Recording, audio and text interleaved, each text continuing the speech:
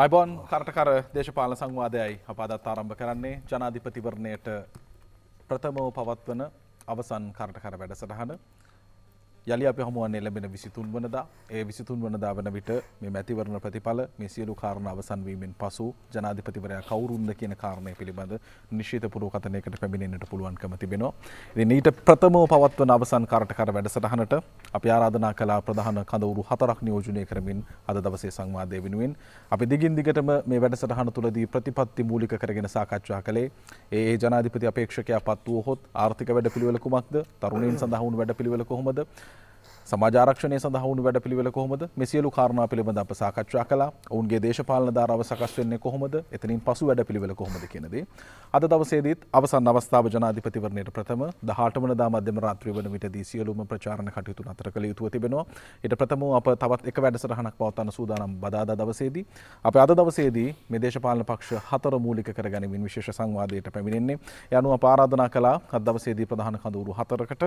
ඒ අනුව වර්තමාන ස්වාධීන ස්වාධීන අපේක්ෂකයෙකු ලෙසින් ඉදිරිපත් වන රනිල් වික්‍රමසිංහ මහතා නියෝජනය කරමින් පාර්ලිමේන්තු මන්ත්‍රී නීතිඥ ප්‍රේමනාත් සිදුලවත මහතා අයිබෝන් අයිබෝන් පිළිගන්නවා.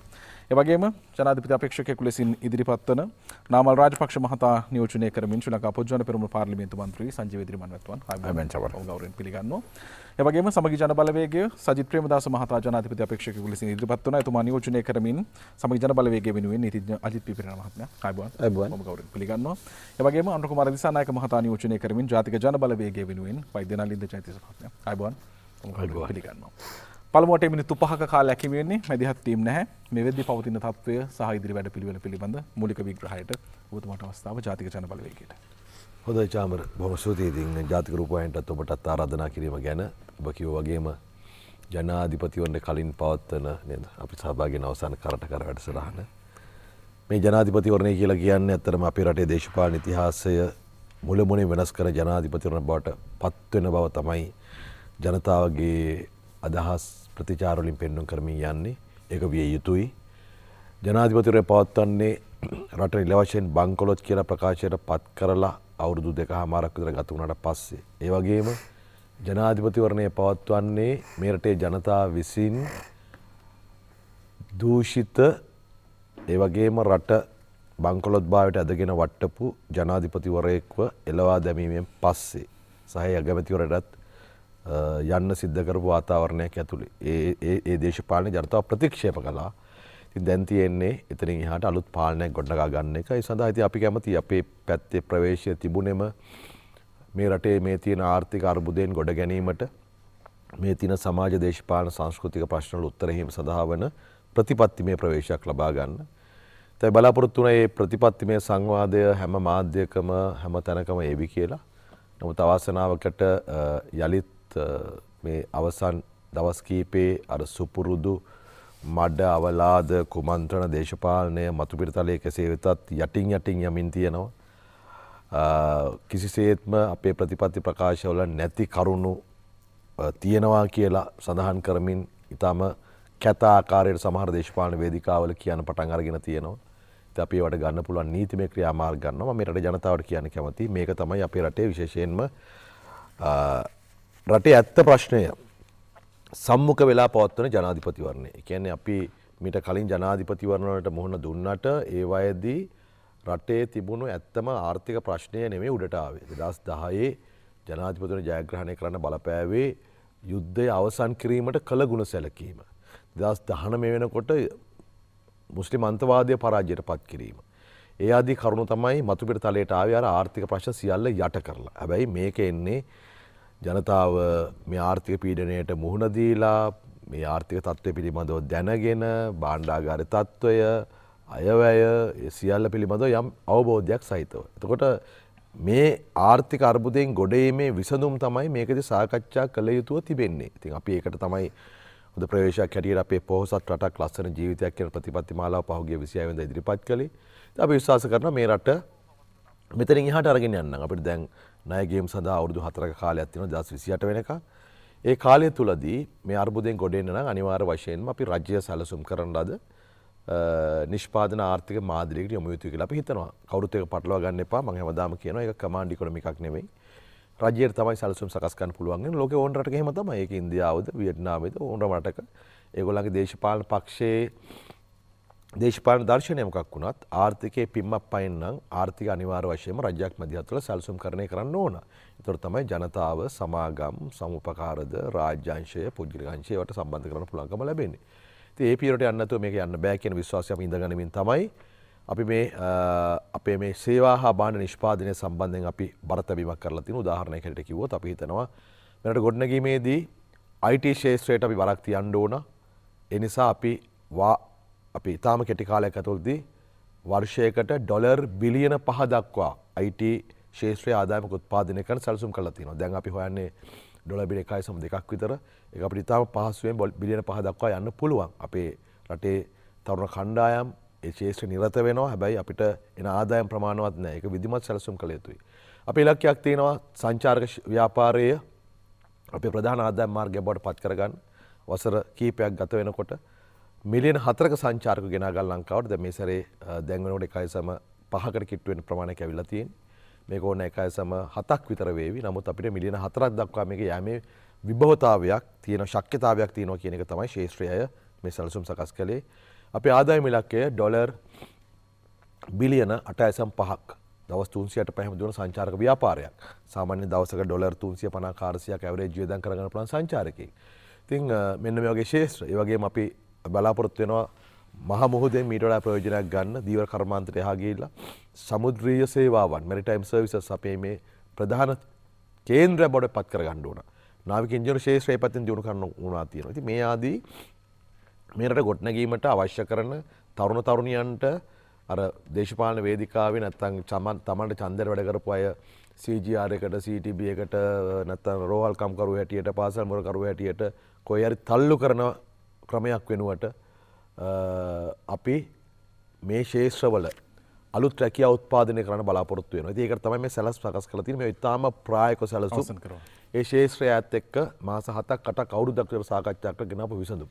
ඒ වගේම අපි බලාපොරොත්තු වෙනවා නිෂ්පාදන ශේෂ්ත්‍රයේ තවත් කර්මාන්ත ප්‍රමාණයකට විශේෂයෙන් අපේ රටේ අමුද්‍රව්‍ය පදනම් වෙච්ච කර්මාන්ත ප්‍රමාණයකට අත තියන්න ඕනකම තියෙනවා.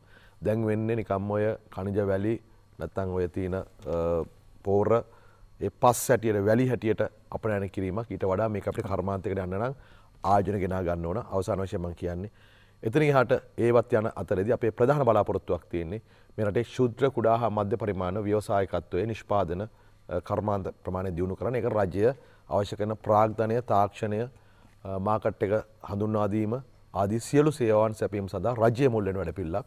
ඉතින් මේ ආදී ආර්ථික ගොඩනැගීම සඳහා වන ඊටාම විධිමත් සැලැස්මක් අපි ඉදිරිපත් කළා තියෙනවා. එකත් එක තම අපි මේ ඉදිරි ආර්ථික අපේ ආර්ථිලක් සැලසුම් කළ තියන්නේ දෙදස් තිය වෙනකොට ඩොලබින එකසේ විස්සක ජීඩිබකට යන්න. මේකත් මම හිතන්නේ අපි සාකච්ඡ කරනවන කරන්න ඕනකම තියෙන මේ ආර්ථික ප්‍රශ්නය පිළිබඳව ඉතින් මම ලෑස්ති ළඟවටේදී එතනින් එහාට අපි කොහොමද මේ ආර්ථික ප්‍රතිලාභ ජනතාවට සාධාරණ ගලාගෙන කියන එක පිළිබඳව ටිකක් කතා බහ කරන්න. හොඳයි බොහොම ස්තුතියි ඔබතුමන්ට. නවල් රාජපක්ෂ මහතා වෙනුවෙන් සංජීව දිර්මාන් මන්තුමනි ඔබතුමාට අවස්ථාව. දැන් වෛද්‍ය නරින්ද ජාතිය සහෝදරයා මේ බ්ලූ ඉකනොමිය එක ගැන ඒක කොටසක් අපිකිමුක දීවර කර්මාන්තය සම්බන්ධව යම් ප්‍රතිපත්ති ප්‍රකාශයක කතා කරනවා නම් ඒ ප්‍රතිපත්ති ප්‍රකාශයේ මහමුහුදක් හදන එකක් ගැන චාමර කතා කරන්න ෑන ඇයි සබාදහම විසින් නිර්මාණය කරන ලද සාගරය මත තමයි දීවර කර්මාන්තය බිහිවෙන්. ඒ වගේ තමයි අද මේ ප්‍රතිපත්ති ප්‍රකාශ සියල්ලෙම අප නොවන පාර්ශව ප්‍රධාන පාර්ශවකරුවන් තුන් දෙනාගෙම ගරු ජනාධිපත්තුමාගේ විපක්ෂනායකතුමාගේ සහ ජාතික ජනබලවේගේ නායකතුමාගේ ඒ අය විසින් ඉදිරි අවුරුදු පහ සහ එතනනුත් එහාට මේ රට ගොඩනගන්න කතා කරන්නේ මහින්ද රාජපක්ෂ පාලන සමය විසින් නිර්මාණය කරන ලද පහසුකම් සහිත යටිතලේ මත. අද මේ ප්‍රධාන ප්‍රතිවාදීන්ගේ ප්‍රතිපත්ති ප්‍රකාශ කිසිවක මූලික යටිතල පහසුකම් කියන කොටස ඉතාම පුංචි ප්‍රමාණය ඉතින්.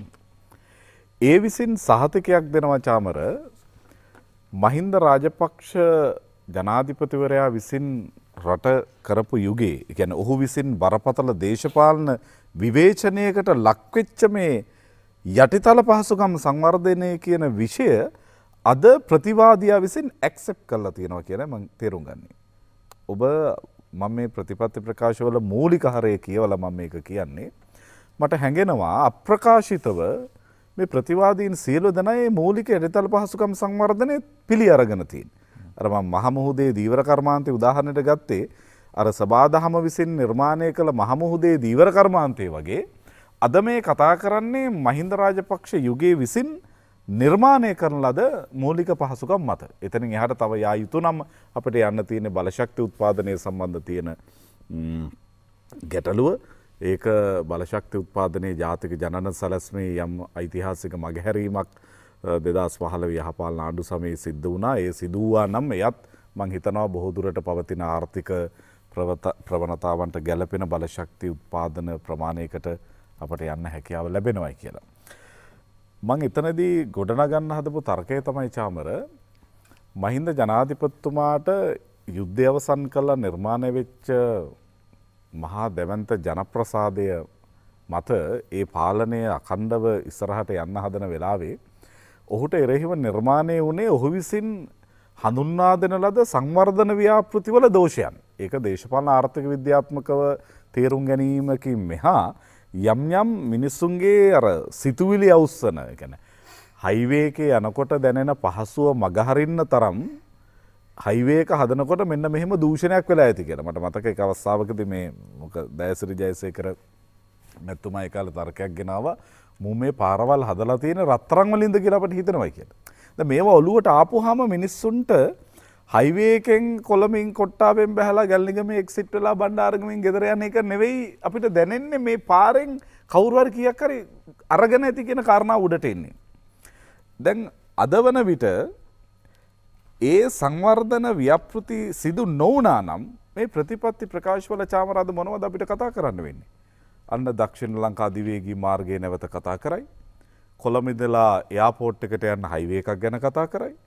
බලශක්ති උත්පාදනයේ දීර්ඝ කාලීනව කතා කළ ගල්ලංගුරු වැනි ප්‍රභාවයකට ගිහිල්ලා නොරොච්චුවලේ නමින් හෝ වෙන නමකින් එවැන්නක් කතා කරන්න ඉඩ තිබුණ. මං ඒක කියන්න තව හේතුවක් තමයි ලංකාවේ ප්‍රතිපත්ති ප්‍රකාශවල අතීතයේ කතා කරන්නේ මොනවහරයට ජාතියක් දෙන්නම් හාල් දෙන්නම් පාන් දෙන්නම් ඊට පස්සෙනවා හාල් පාං සහ සාමය වගේ මාතෘකාවක් අසුවේ මැද්දේ විශේෂයෙන් අනූ හතරෙන් පස්සේ මේ යුග සියල්ල පහු කල්ලා අද ජාතික මැතිවරණයක ප්‍රතිපත්ති ප්‍රකාශයක අපනයන ආර්ථිකයේ වර්ධනයක් පිළිබඳව ඩිජිටල් ආර්ථිකය ඊළඟ යුගේ පිළිබඳ කතා කරන්න පුළුවන් තැනකට මේ රට ගොඩනැගී තිබෙනවා කියන කාරණාව. ඒකෙන් අපි තමක මේ ඇතුළේ ජයර්ජයවර්ධන විසින් නිර්මාණය කරන අද මහවැලියත් මේ ඇතුළේ තියෙන.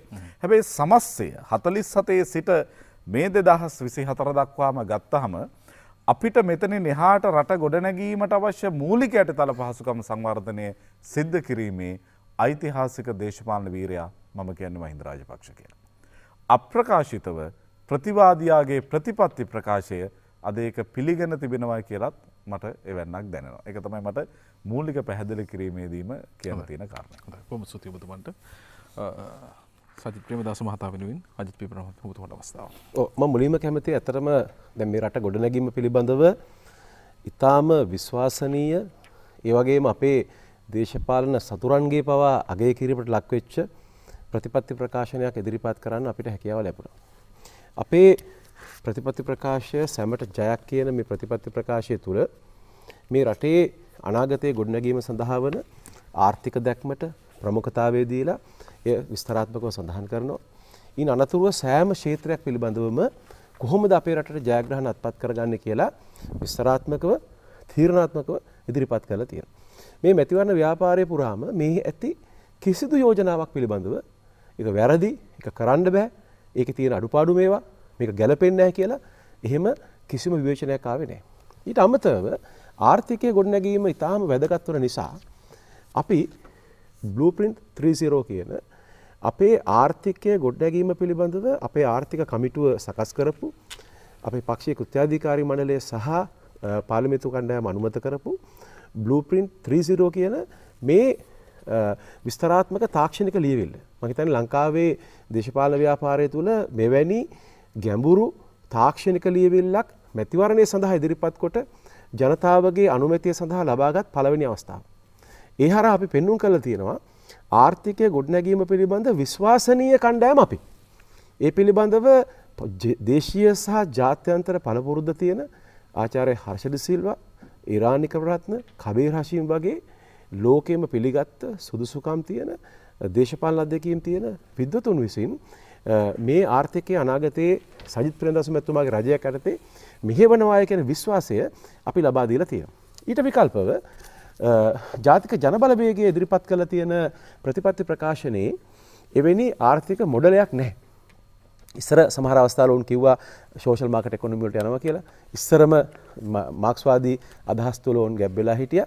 දැන් අද වෙනකොට යම් යම් මූලික කරුණුපියක් කීපයක් අපිළිවෙලින් දක්වා තිබෙනවා මිසක් නිශ්චිත ප්‍රතිපත්තියක් ලෝකයේ පිළිගත්ත මොඩලයක් නැහැ. ඒක තමන්ගේ මොඩලයක් ඒක ඉන්ඩිජිනස් එකක් කියලා කියන්න පුළුවන්. එහෙම එහෙම අවස්ථා තියෙනවා. දැන් උදාහරණයක් විදිහට කබ්‍රල් මහබැංක අධිපතිතුමා ණය අර්බුදය විසඳීම සඳහා කිව්වේ ලෝකයේ පිළිගත්ත ක්‍රමවේද අපි අනුගමනය කරන්නේ නැහැ.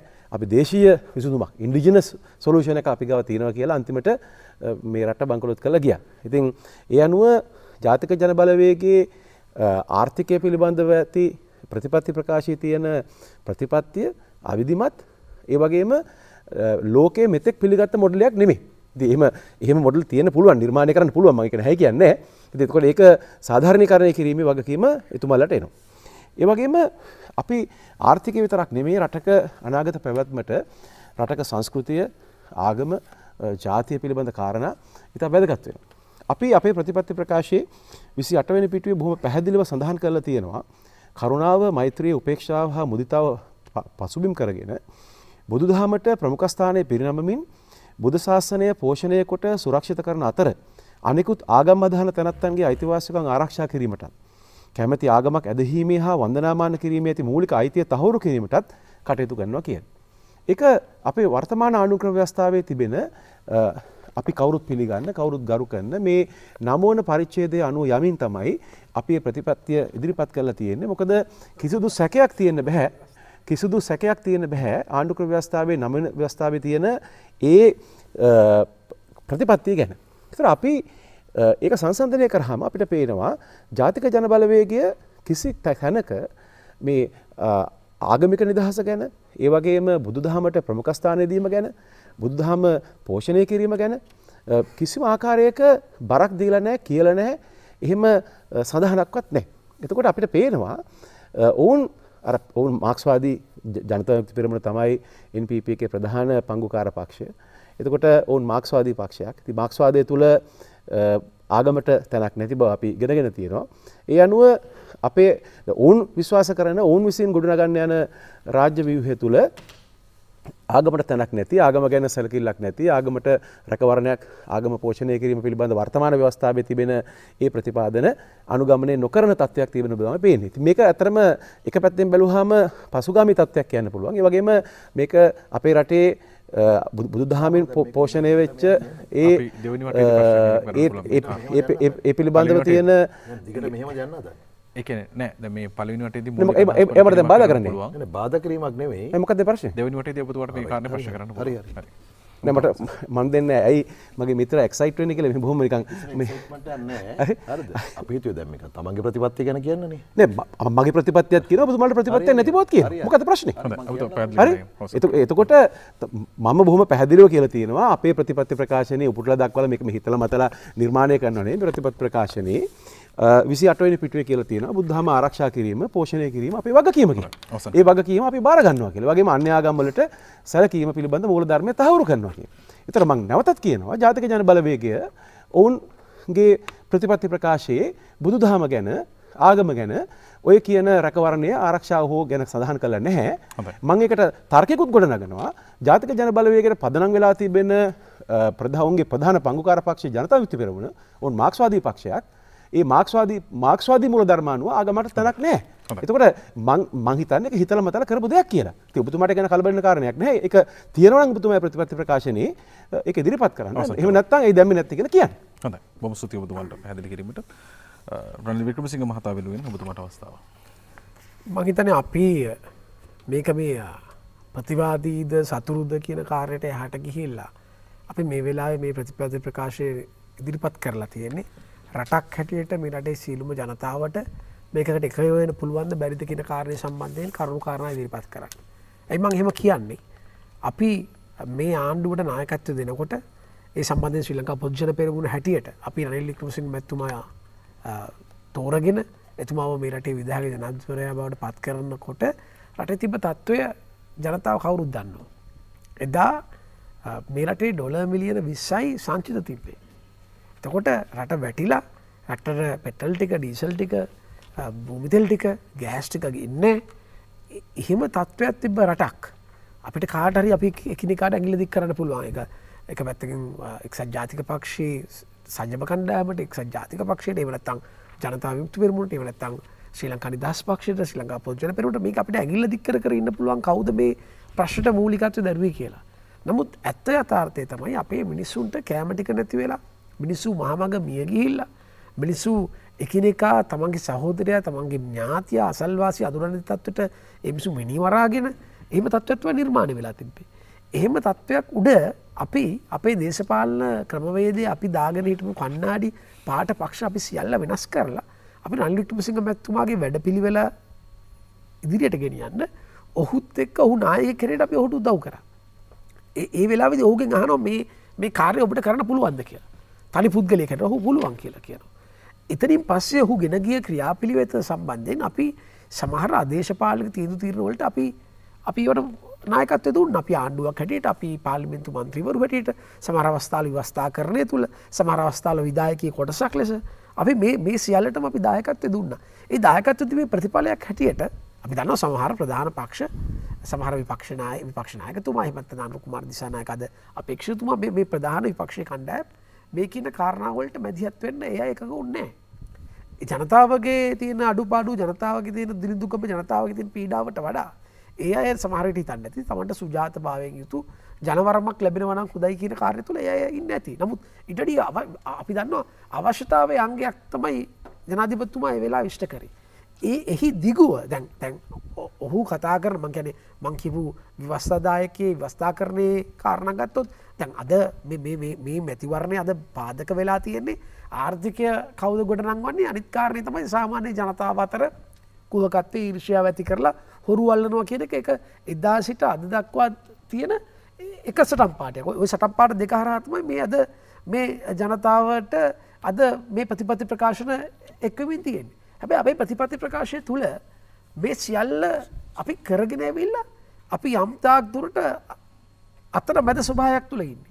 අපිට චාමර කිසි වෙලාවක මේ මේ රට අපි ගත්ත වෙලාවේ ඉඳලා ඒ නායකත්වය රනිලිකම සිගමැත්තුමා දෙන අවස්ථාවදලා අද වෙනකම් අපිට මේකින් වරින් වර වෙනස් වෙන්න උමනාවක් කියලා නෑ. අපි එදා මේ නොල මිලියන විස්සක් සංචිතතියද්දි එදා ඇමරිකාන් ඩොල එක මිල රුපිය තුන්සිය හැත්තෑවක් වෙලා තියෙද්දි එතකොට සංචාරකයෝ බලු අවුරුතරම හත්ලක්ෂ මනස්දහක් එද්දි බැංකු පොලිය සිට විසිහතරක් වෙද්දී එතකොට සාමාන්‍ය බැංකු සාමාන්‍යයෙන් ගත්තහම උද්ධමනය සිට හැත්තවක් වෙද්දි ඒ සියල්ල යථපාරදි පත් කරන්න අපි ගෙනාපු ක්‍රියාවලිය තමයි අද අපි දිගුවල් ලෙස ජනතාවට දිරිපත් කරලති.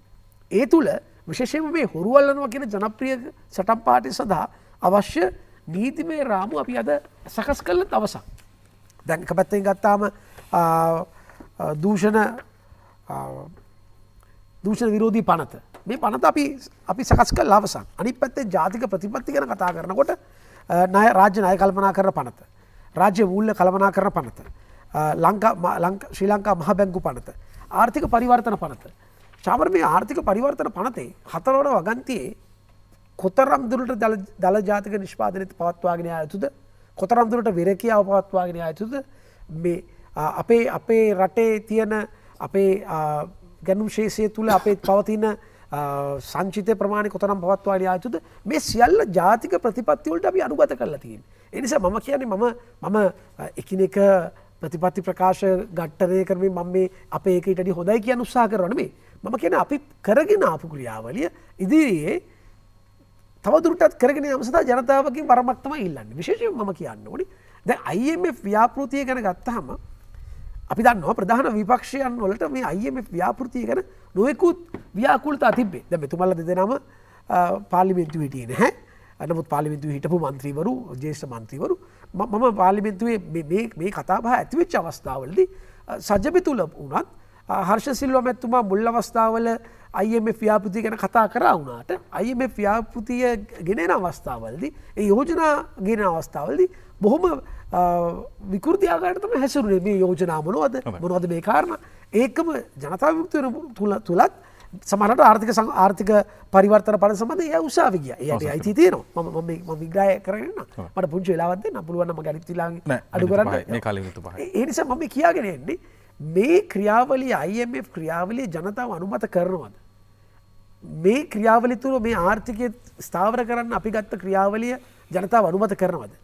අපි වාර්ෂික අදනකොට දල ජාතික නිෂ්පාතනය තුළ අපි අත්කලන්තින වර්ධනය සම්බන්ධයෙන් ජනතාව ගන්න තීරණය මොකක්ද කියන කාරණය සම්බන්ධයෙන් මම හිතනවා. මේක ජනාධවරකට වඩා ජනමත විචාරණක ස්වරූපයක් තමයි අද ගෙනල්ල තියෙනගෙන කාරය පැහැදිලිව මේ වෙලාවේ කියන්න පුළුවන්. ඒ සඳහා රල්ලික්‍රම සිංහ මැත්තුමා පුද්ගලය හැටියට නෙවෙයි ඕගේ වැඩබිලිවල ජනතාව අනුමත කරනවද කියල ජනතාවට ලබාදිල තියෙන ජනවර්මක් සඳහා ජන- ජනතාවට ලබාදිල තියෙන අවස්ථාවක් හැටියට මම එක දකින්න.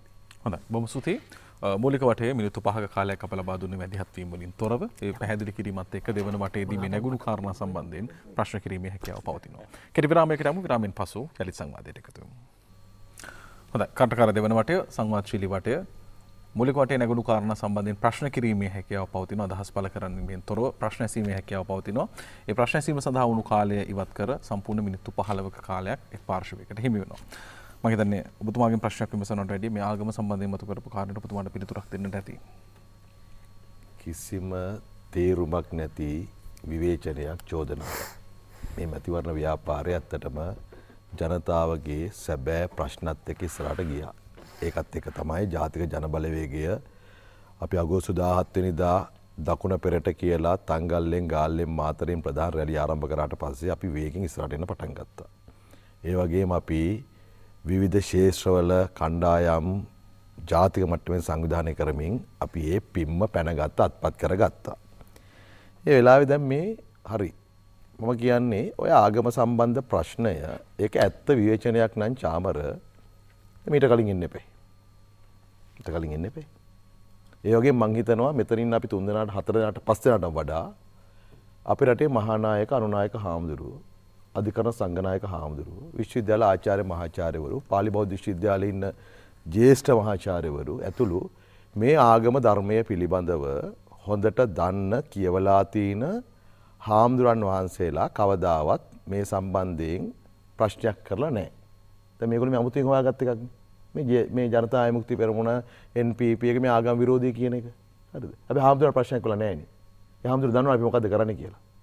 හරිද? මේක ඊටාම මුග්ධ ඒ කියන්නේ අර දේශපාලනේ වැටෙන්න පුළුවන් පහත් තැන්ට වැටිලා යලිත් වතාවක් ආගම තමන්ගේ පටු දේශපාලන අරමුණුවෙන් ගන්න හදන මේ වැඩක්. මේ රටේ ජනතාව ගෝඨාභය රාජපක්ෂ ඇතුළු රාජපක්ෂට විරුද්ධ වෙන ප්‍රධාන හේතුවක් උනේ මේක. ඒගොල්ලෝ ආගම විදිහට පාවිච්චි කරපු එක. අද ඒ තැනට මේගොල්ලෝ වැටලා තියෙනවා. හරිද? මට කියන්න මෙතුමයි මායි දෙන්න මේක පාර්ලිමේන්තුවේ හිටියානේ. ඔබතුමාටත් ඒක කියවලා ඇති. නවවෙනි සංශෝධනය අනුකරන ව්‍යවස්ථාවේ ඉවත් කරන්න කියලා කවුද පාර්ලිමේන්තුවේ ඉල්ලා හිටියේ? 2015 අලුත් ව්‍යවස්ථාවක් හදන්න සාකච්ඡා යනකොට. ඒකෙන් ප්‍රධාන මෙහෙයුම් කමිටුවක් තිබුණා අනු කමිටු හයක් තිබුණා.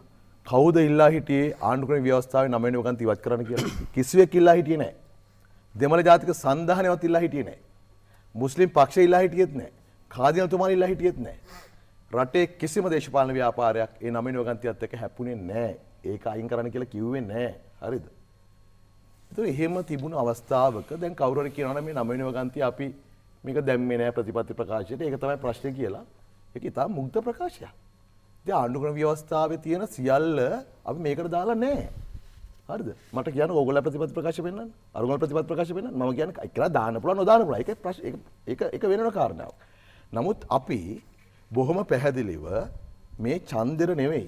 ඡන්දෙර කලින් මම තමයි 2015 ඉඳන් 19 වෙනකන් පාර්ලිමේන්තුවේ හැම අයවැයකදීම බුද්ධ ශාසන අමාත්‍යාංශ වැල්ශේෂ්‍ය වෙනුවෙන් එවකට ජනතා විමුක්ති පෙරමුණේ මන්ත්‍රීවරයෙක් හැටියට. ජනතා විමුක්ති නෑ NPP නෙවෙයි. JB මන්ත්‍රීවරයෙක් හැටියට හැමදාම බුද්ධ ශාසන අමාත්‍යාංශ වැල්ශේෂ්‍ය කතා කරන්නේ මම. මම හැමදාම අවධාරණය කරලා තියෙනවා ආණ්ඩුක්‍රම ව්‍යවස්ථාවේ නම වෙන වගන්තිය අපි. සරල සිංහලෙන් කියමු වගන්තිය.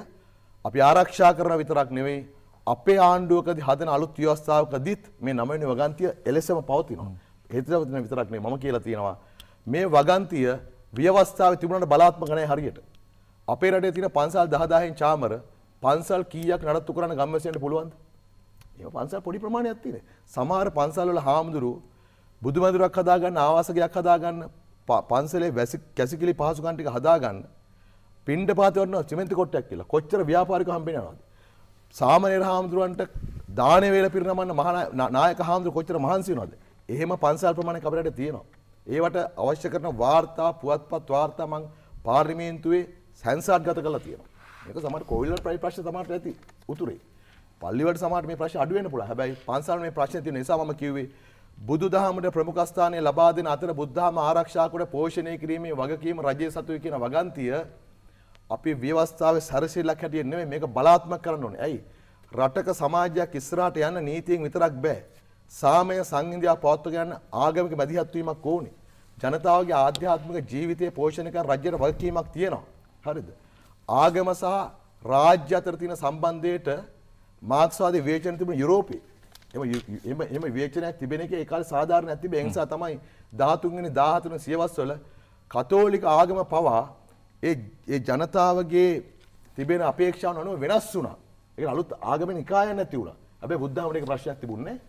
හින්දු දහම ප්‍රශ්නයක් තිබුණේ නැහැ. පෙරදිග ආගම වලට ඒක ප්‍රශ්නයක් තිබුණේ නැහැ. මොකද පෙරදිග ආගම් රාජ්‍යත් එක්ක කටයුතු කරේ තාම සුහදශීලීව.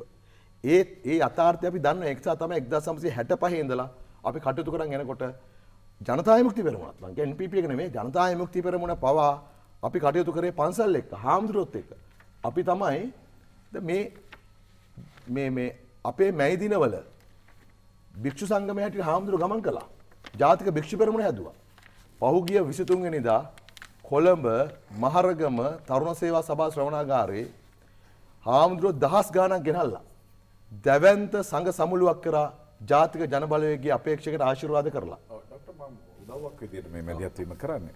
දැන් ඔබට මේ මේ මේ ගැටුම ඇතිවන තැන මම මේ පේන්න. මේ මේ මේ මතය ගැටෙනවා. ඒ කියන්නේ සජබෙන් අපෙන් අ, රනිල් වික්‍රමසිංහගෙන් නවවෙනි ව්‍යවස්ථාව ප්‍රතිපත්ති ප්‍රකාශයෙන් බලාපොරොත්තු නොවෙන්නයි ඔබෙන් ප්‍රශ්න කරන්න හේතුව සමාජයේ මට පේන එක මං කියන්නේ. එකක් බිමල් රත්නායක BBCට කළ ප්‍රකාශය මේක සිංහල බෞද්ධ රටක් නෙවෙයි කියලා. දෙක බිමල් රත්නායක පිළිම වන්දන සමාධි පිළිම වහන්සේට වදින අවකවන පිළිම වහන්සේට අවුරුදු දෙදස් ගානක් වඳින සමාජයක් හමුවේ ඔහු කියනවා පිළිම වන්දනාව ගෝත්‍රිකයි කියලා. ඒවගේම නිහල් හේවගේ කියනවා නලින් හේවගේ. ශ්‍රීම සමාවෙන් නලිනේවගේ ශ්‍රීමාබෝධීන් වහන්සේ සම්බන්ධ මගැන සංස්කෘතියක් එහෙම විවේචනය කරන්න දේශපාල ව්‍යාපාරයට අයිතියක් නෑ කියලා. සංජීව මේ මෙතන ඉන්න ඔගොල්ලෝ තුන්දෙනාගෙන් එක කණ්ඩායමක් හදපොයි වීඩියෝ මාත් දැකලා තියෙනවා. ඔගොල්ලෝ තුන්දෙනා කවුරු හදන්න තියෙන්නේ ෂුවර්. හරිද? නෑ, අපි නම් ඒ- නෙමෙයි රයිට් ඕගොල්ලෝ නෙමෙයි. ඔළුව වන්නකොට ඒක මට තේරෙනවා හදපොයි- කවුද හදුවේ කියලා. හරිද? මේ ඔයා ඔය කිරි විදිය මම දැකලත් නෑ මම දන්නේ අනේ නෑ ඒවා ඒවා ඕක ඕක ගොඩාක් ෂෙයා කරනවා මේ කියන. දොලවත් හරිද දැන් මම කියන්නේ ඔබ ඔය ගැටේට අහු වෙන්න එපා විශේෂයෙන් බිමල් රත්නායකගේ ඒ පිළිම සම්බන්ධයෙන් කරපු කතාවේ සම්පූර්ණ කතාව බලන්න. ඒ මොකද කියන්නේ කියලා තේරුම් ගන්න. මෙතන සංජීව මේ වැඩේ ඔබටත් වෙන්න පුළුවන් ඊළඟ දවසේ. දැන් මෙතන මාර්ක් වැඩක් කරනවා. දැන් මම කියනවා දැන් මම උදාහරණයක් ගත්තොත් මම කියනවා මේ සමහර කණ්ඩායම් අපිට අපේ ආණ්ඩුවක් ආගම් අදහන්න දෙන්නේ කියලා කියනවා. මේගොල්ලෝ මොකද දන්නවද කරන්නේ? සමහර කණ්ඩායම් එඩිට් කළා. කියනවා කියන එඩිට් කරා. අපි ආගම අදහන දෙන්නේ කියන වාක්‍ය විතරක් ඔබට එවනවා. ඔබ ඔබ ඔය බලපු වීඩියෝ එකම බලලා තියෙනවා. ඕක ඇතුලේ එඩිට් කරපු අර හරිනි අමරසූරියගේ මට මතක YouTube එක කරපු නාලිකාව කරපු කතාව පැය එකහමාරක එකකදී ඇය ඇත්තටම ආධ්‍යාත්මික ජීවිතයේ පෝෂණය කිරීම සඳහා ආගම් වල තියෙන වටිනාකම තමයි කියන්නේ. ඒකේ තියෙන එක වාක්‍යයක් අරගෙන ඒ වාක්‍යයෙන් සමස්ත නිරූපණය වෙන්නේ එක වැරදි. මම කියන්නේ ඒක අහන්න කියලා. මේක ඉතාම විකෘති සහගතව කරන වැඩක්. සංජීව එහෙම විවේචනයක් තියෙනවා නම් අපිට ඒක එක පාට ප්‍රාදුර්භූත වෙන්න බෑනේ එක පාට වෙන්න බෑ සංජීව. එන අපිට ක්‍රමානුකූලව අපි එනම් පන්සල් එක වැඩ නොකර ඉන්න ඕනේ. හාමුදුරුවෝ අපි ප්‍රතික්ෂේප කරන්න ඕනේ. දැන් 15 වෙනිදා නාම යෝජනා බාර දීලා 16 වෙනිදා අපි ගියා මහානායක හාමුදුරුවෝ මුණ ගැහෙන්න. මලුතු හාමුදුරුවෝ මුණ ගැහෙන්න, අස්කිරි හාමුදුරුවෝ මුණ ගැහෙන්න, රාමාඤ්ඤ අමරපුර නිකායවල මහානායක හාමුදුරුවෝ මුණ ගැහුණා. උන්වහන්සේලා කවුරුවත් මේ ප්‍රශ්නයක් ඇති කරේ නැහැනේ. උන්වහන්සේට ඕනේ නැහැ. ඔබ බලන්න මහානායක හාමුදුරු මල්ලොතු මහානායක හාමුදුරුව අපි වෙනුවෙන් කිව්වා ඔබලට මේ සමහර අය චෝදනා කරන අතීතය පිළිබඳව හැබැයි ඒගොල්ලෝ තමයි කරුණාම්මාන පිල්ලියන්න පක්ෂ අරගෙන උපසභාපතිතුමා දුන්නේ කියලා. මතකද මේ මේ චාමල? ඒක දාන්නේ රුකුයි නාලිකාවල. ඒ නිසා මේවා මේ වැඩක් නෑ. දැන් මේ පරණ කතා අවුරුදු 35ක් ඔබ ප්‍රජාතන්ත්‍රවාදී සාමකාමී දේශපාලන තව කිව්වා. එක තැනක් පොඩකින්. හොඳයි. ඒක නිසා මේ නවවෙනි ව- මම කියමින් ආවේ බුද්ධ ශාසන අමාත්‍යාංශ වැල්ශීෂි කතා කරේ මම. එතකොට හැමදාම අපි කියලා තියෙනවා නවවෙනි වගන්තිය අපි බලාත්මක කරනවා ඒක අවශ්‍යයි රටට. 1972 ව්‍යවස්ථාවේ තිබුණ වගන්තියක් ඕක. කොල්නාර්සිල්ලා ව්‍යවස්ථාව හදනකොට සම සමාජ පක්ෂ නායක හැටියට කොල්නාර්සිල්ලා තමයි ওই වගන්ති ව්‍යවස්ථාවට ගේන්නේ. 78 එක කන්ටිනියු කරනවා. දැන් මේ තියෙන්නේ පහුගිය 23 වෙනිදා. මම කියමින් හිටියේ මහරගම තරුණ සේවා සභාවට දහස් ගණන් හාමුදුරුවෝ එකතු වුණා. ඇවිල්ලා. ඒ හාමුදුරුවෝ අපේ අපේක්ෂකයන්ට අනුකුමාර සානක සහෝදරට ආශිර්වාද කළා. හරිද?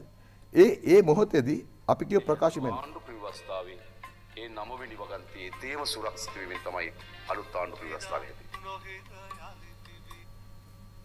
මේ හාමුදුරුවෝ ඉස්සලා කියපු කතාව. මේ 23 වෙනිදා පොඩ්ඩක් 23 වෙනිදා. එතකොට මේක අපේ රටේ ජනතාව පිළිගන්නවා. එතකොට දැන් ඒ හාමුදුරුව වැඩම කරපු එක මම දැක්ක මෙතුමා රූපాయి නාලිකාවලට කියනවා මේ සිවුරු සිවුරු අන්දපු විශ්වවිද්‍යාල තමයි කිව්ව එතනට එහුවේ. ඒ අපහාස කොහමද? ඒ කියන්නේ එතන ඉන්න හාමුදුරන්ගේ 90ක් කියලා කිව්වේ. 80ක්ද 90ක්ද සිවුරු අන්දපු කැම්පස් කොල්ලෝ තමයි එතනට එව්වේ කියලයි මෙතුමාලගේ චෝදනාව.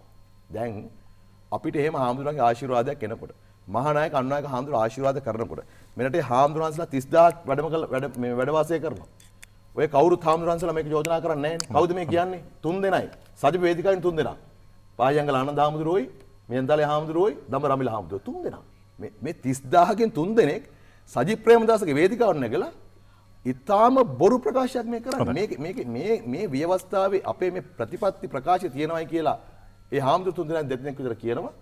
මේක තියෙනවල අපි නිරාගම රාජ්‍යයක් හදනවයි කියලා. කොහෙද තියෙන්නේ? පට්ටබල් බොරු. ඒක නිසා අපි. ඔය පායංගල හාමුදුරන්ට එන්ත්‍රවාසිකුත් ඇවලා තියෙන්නේ.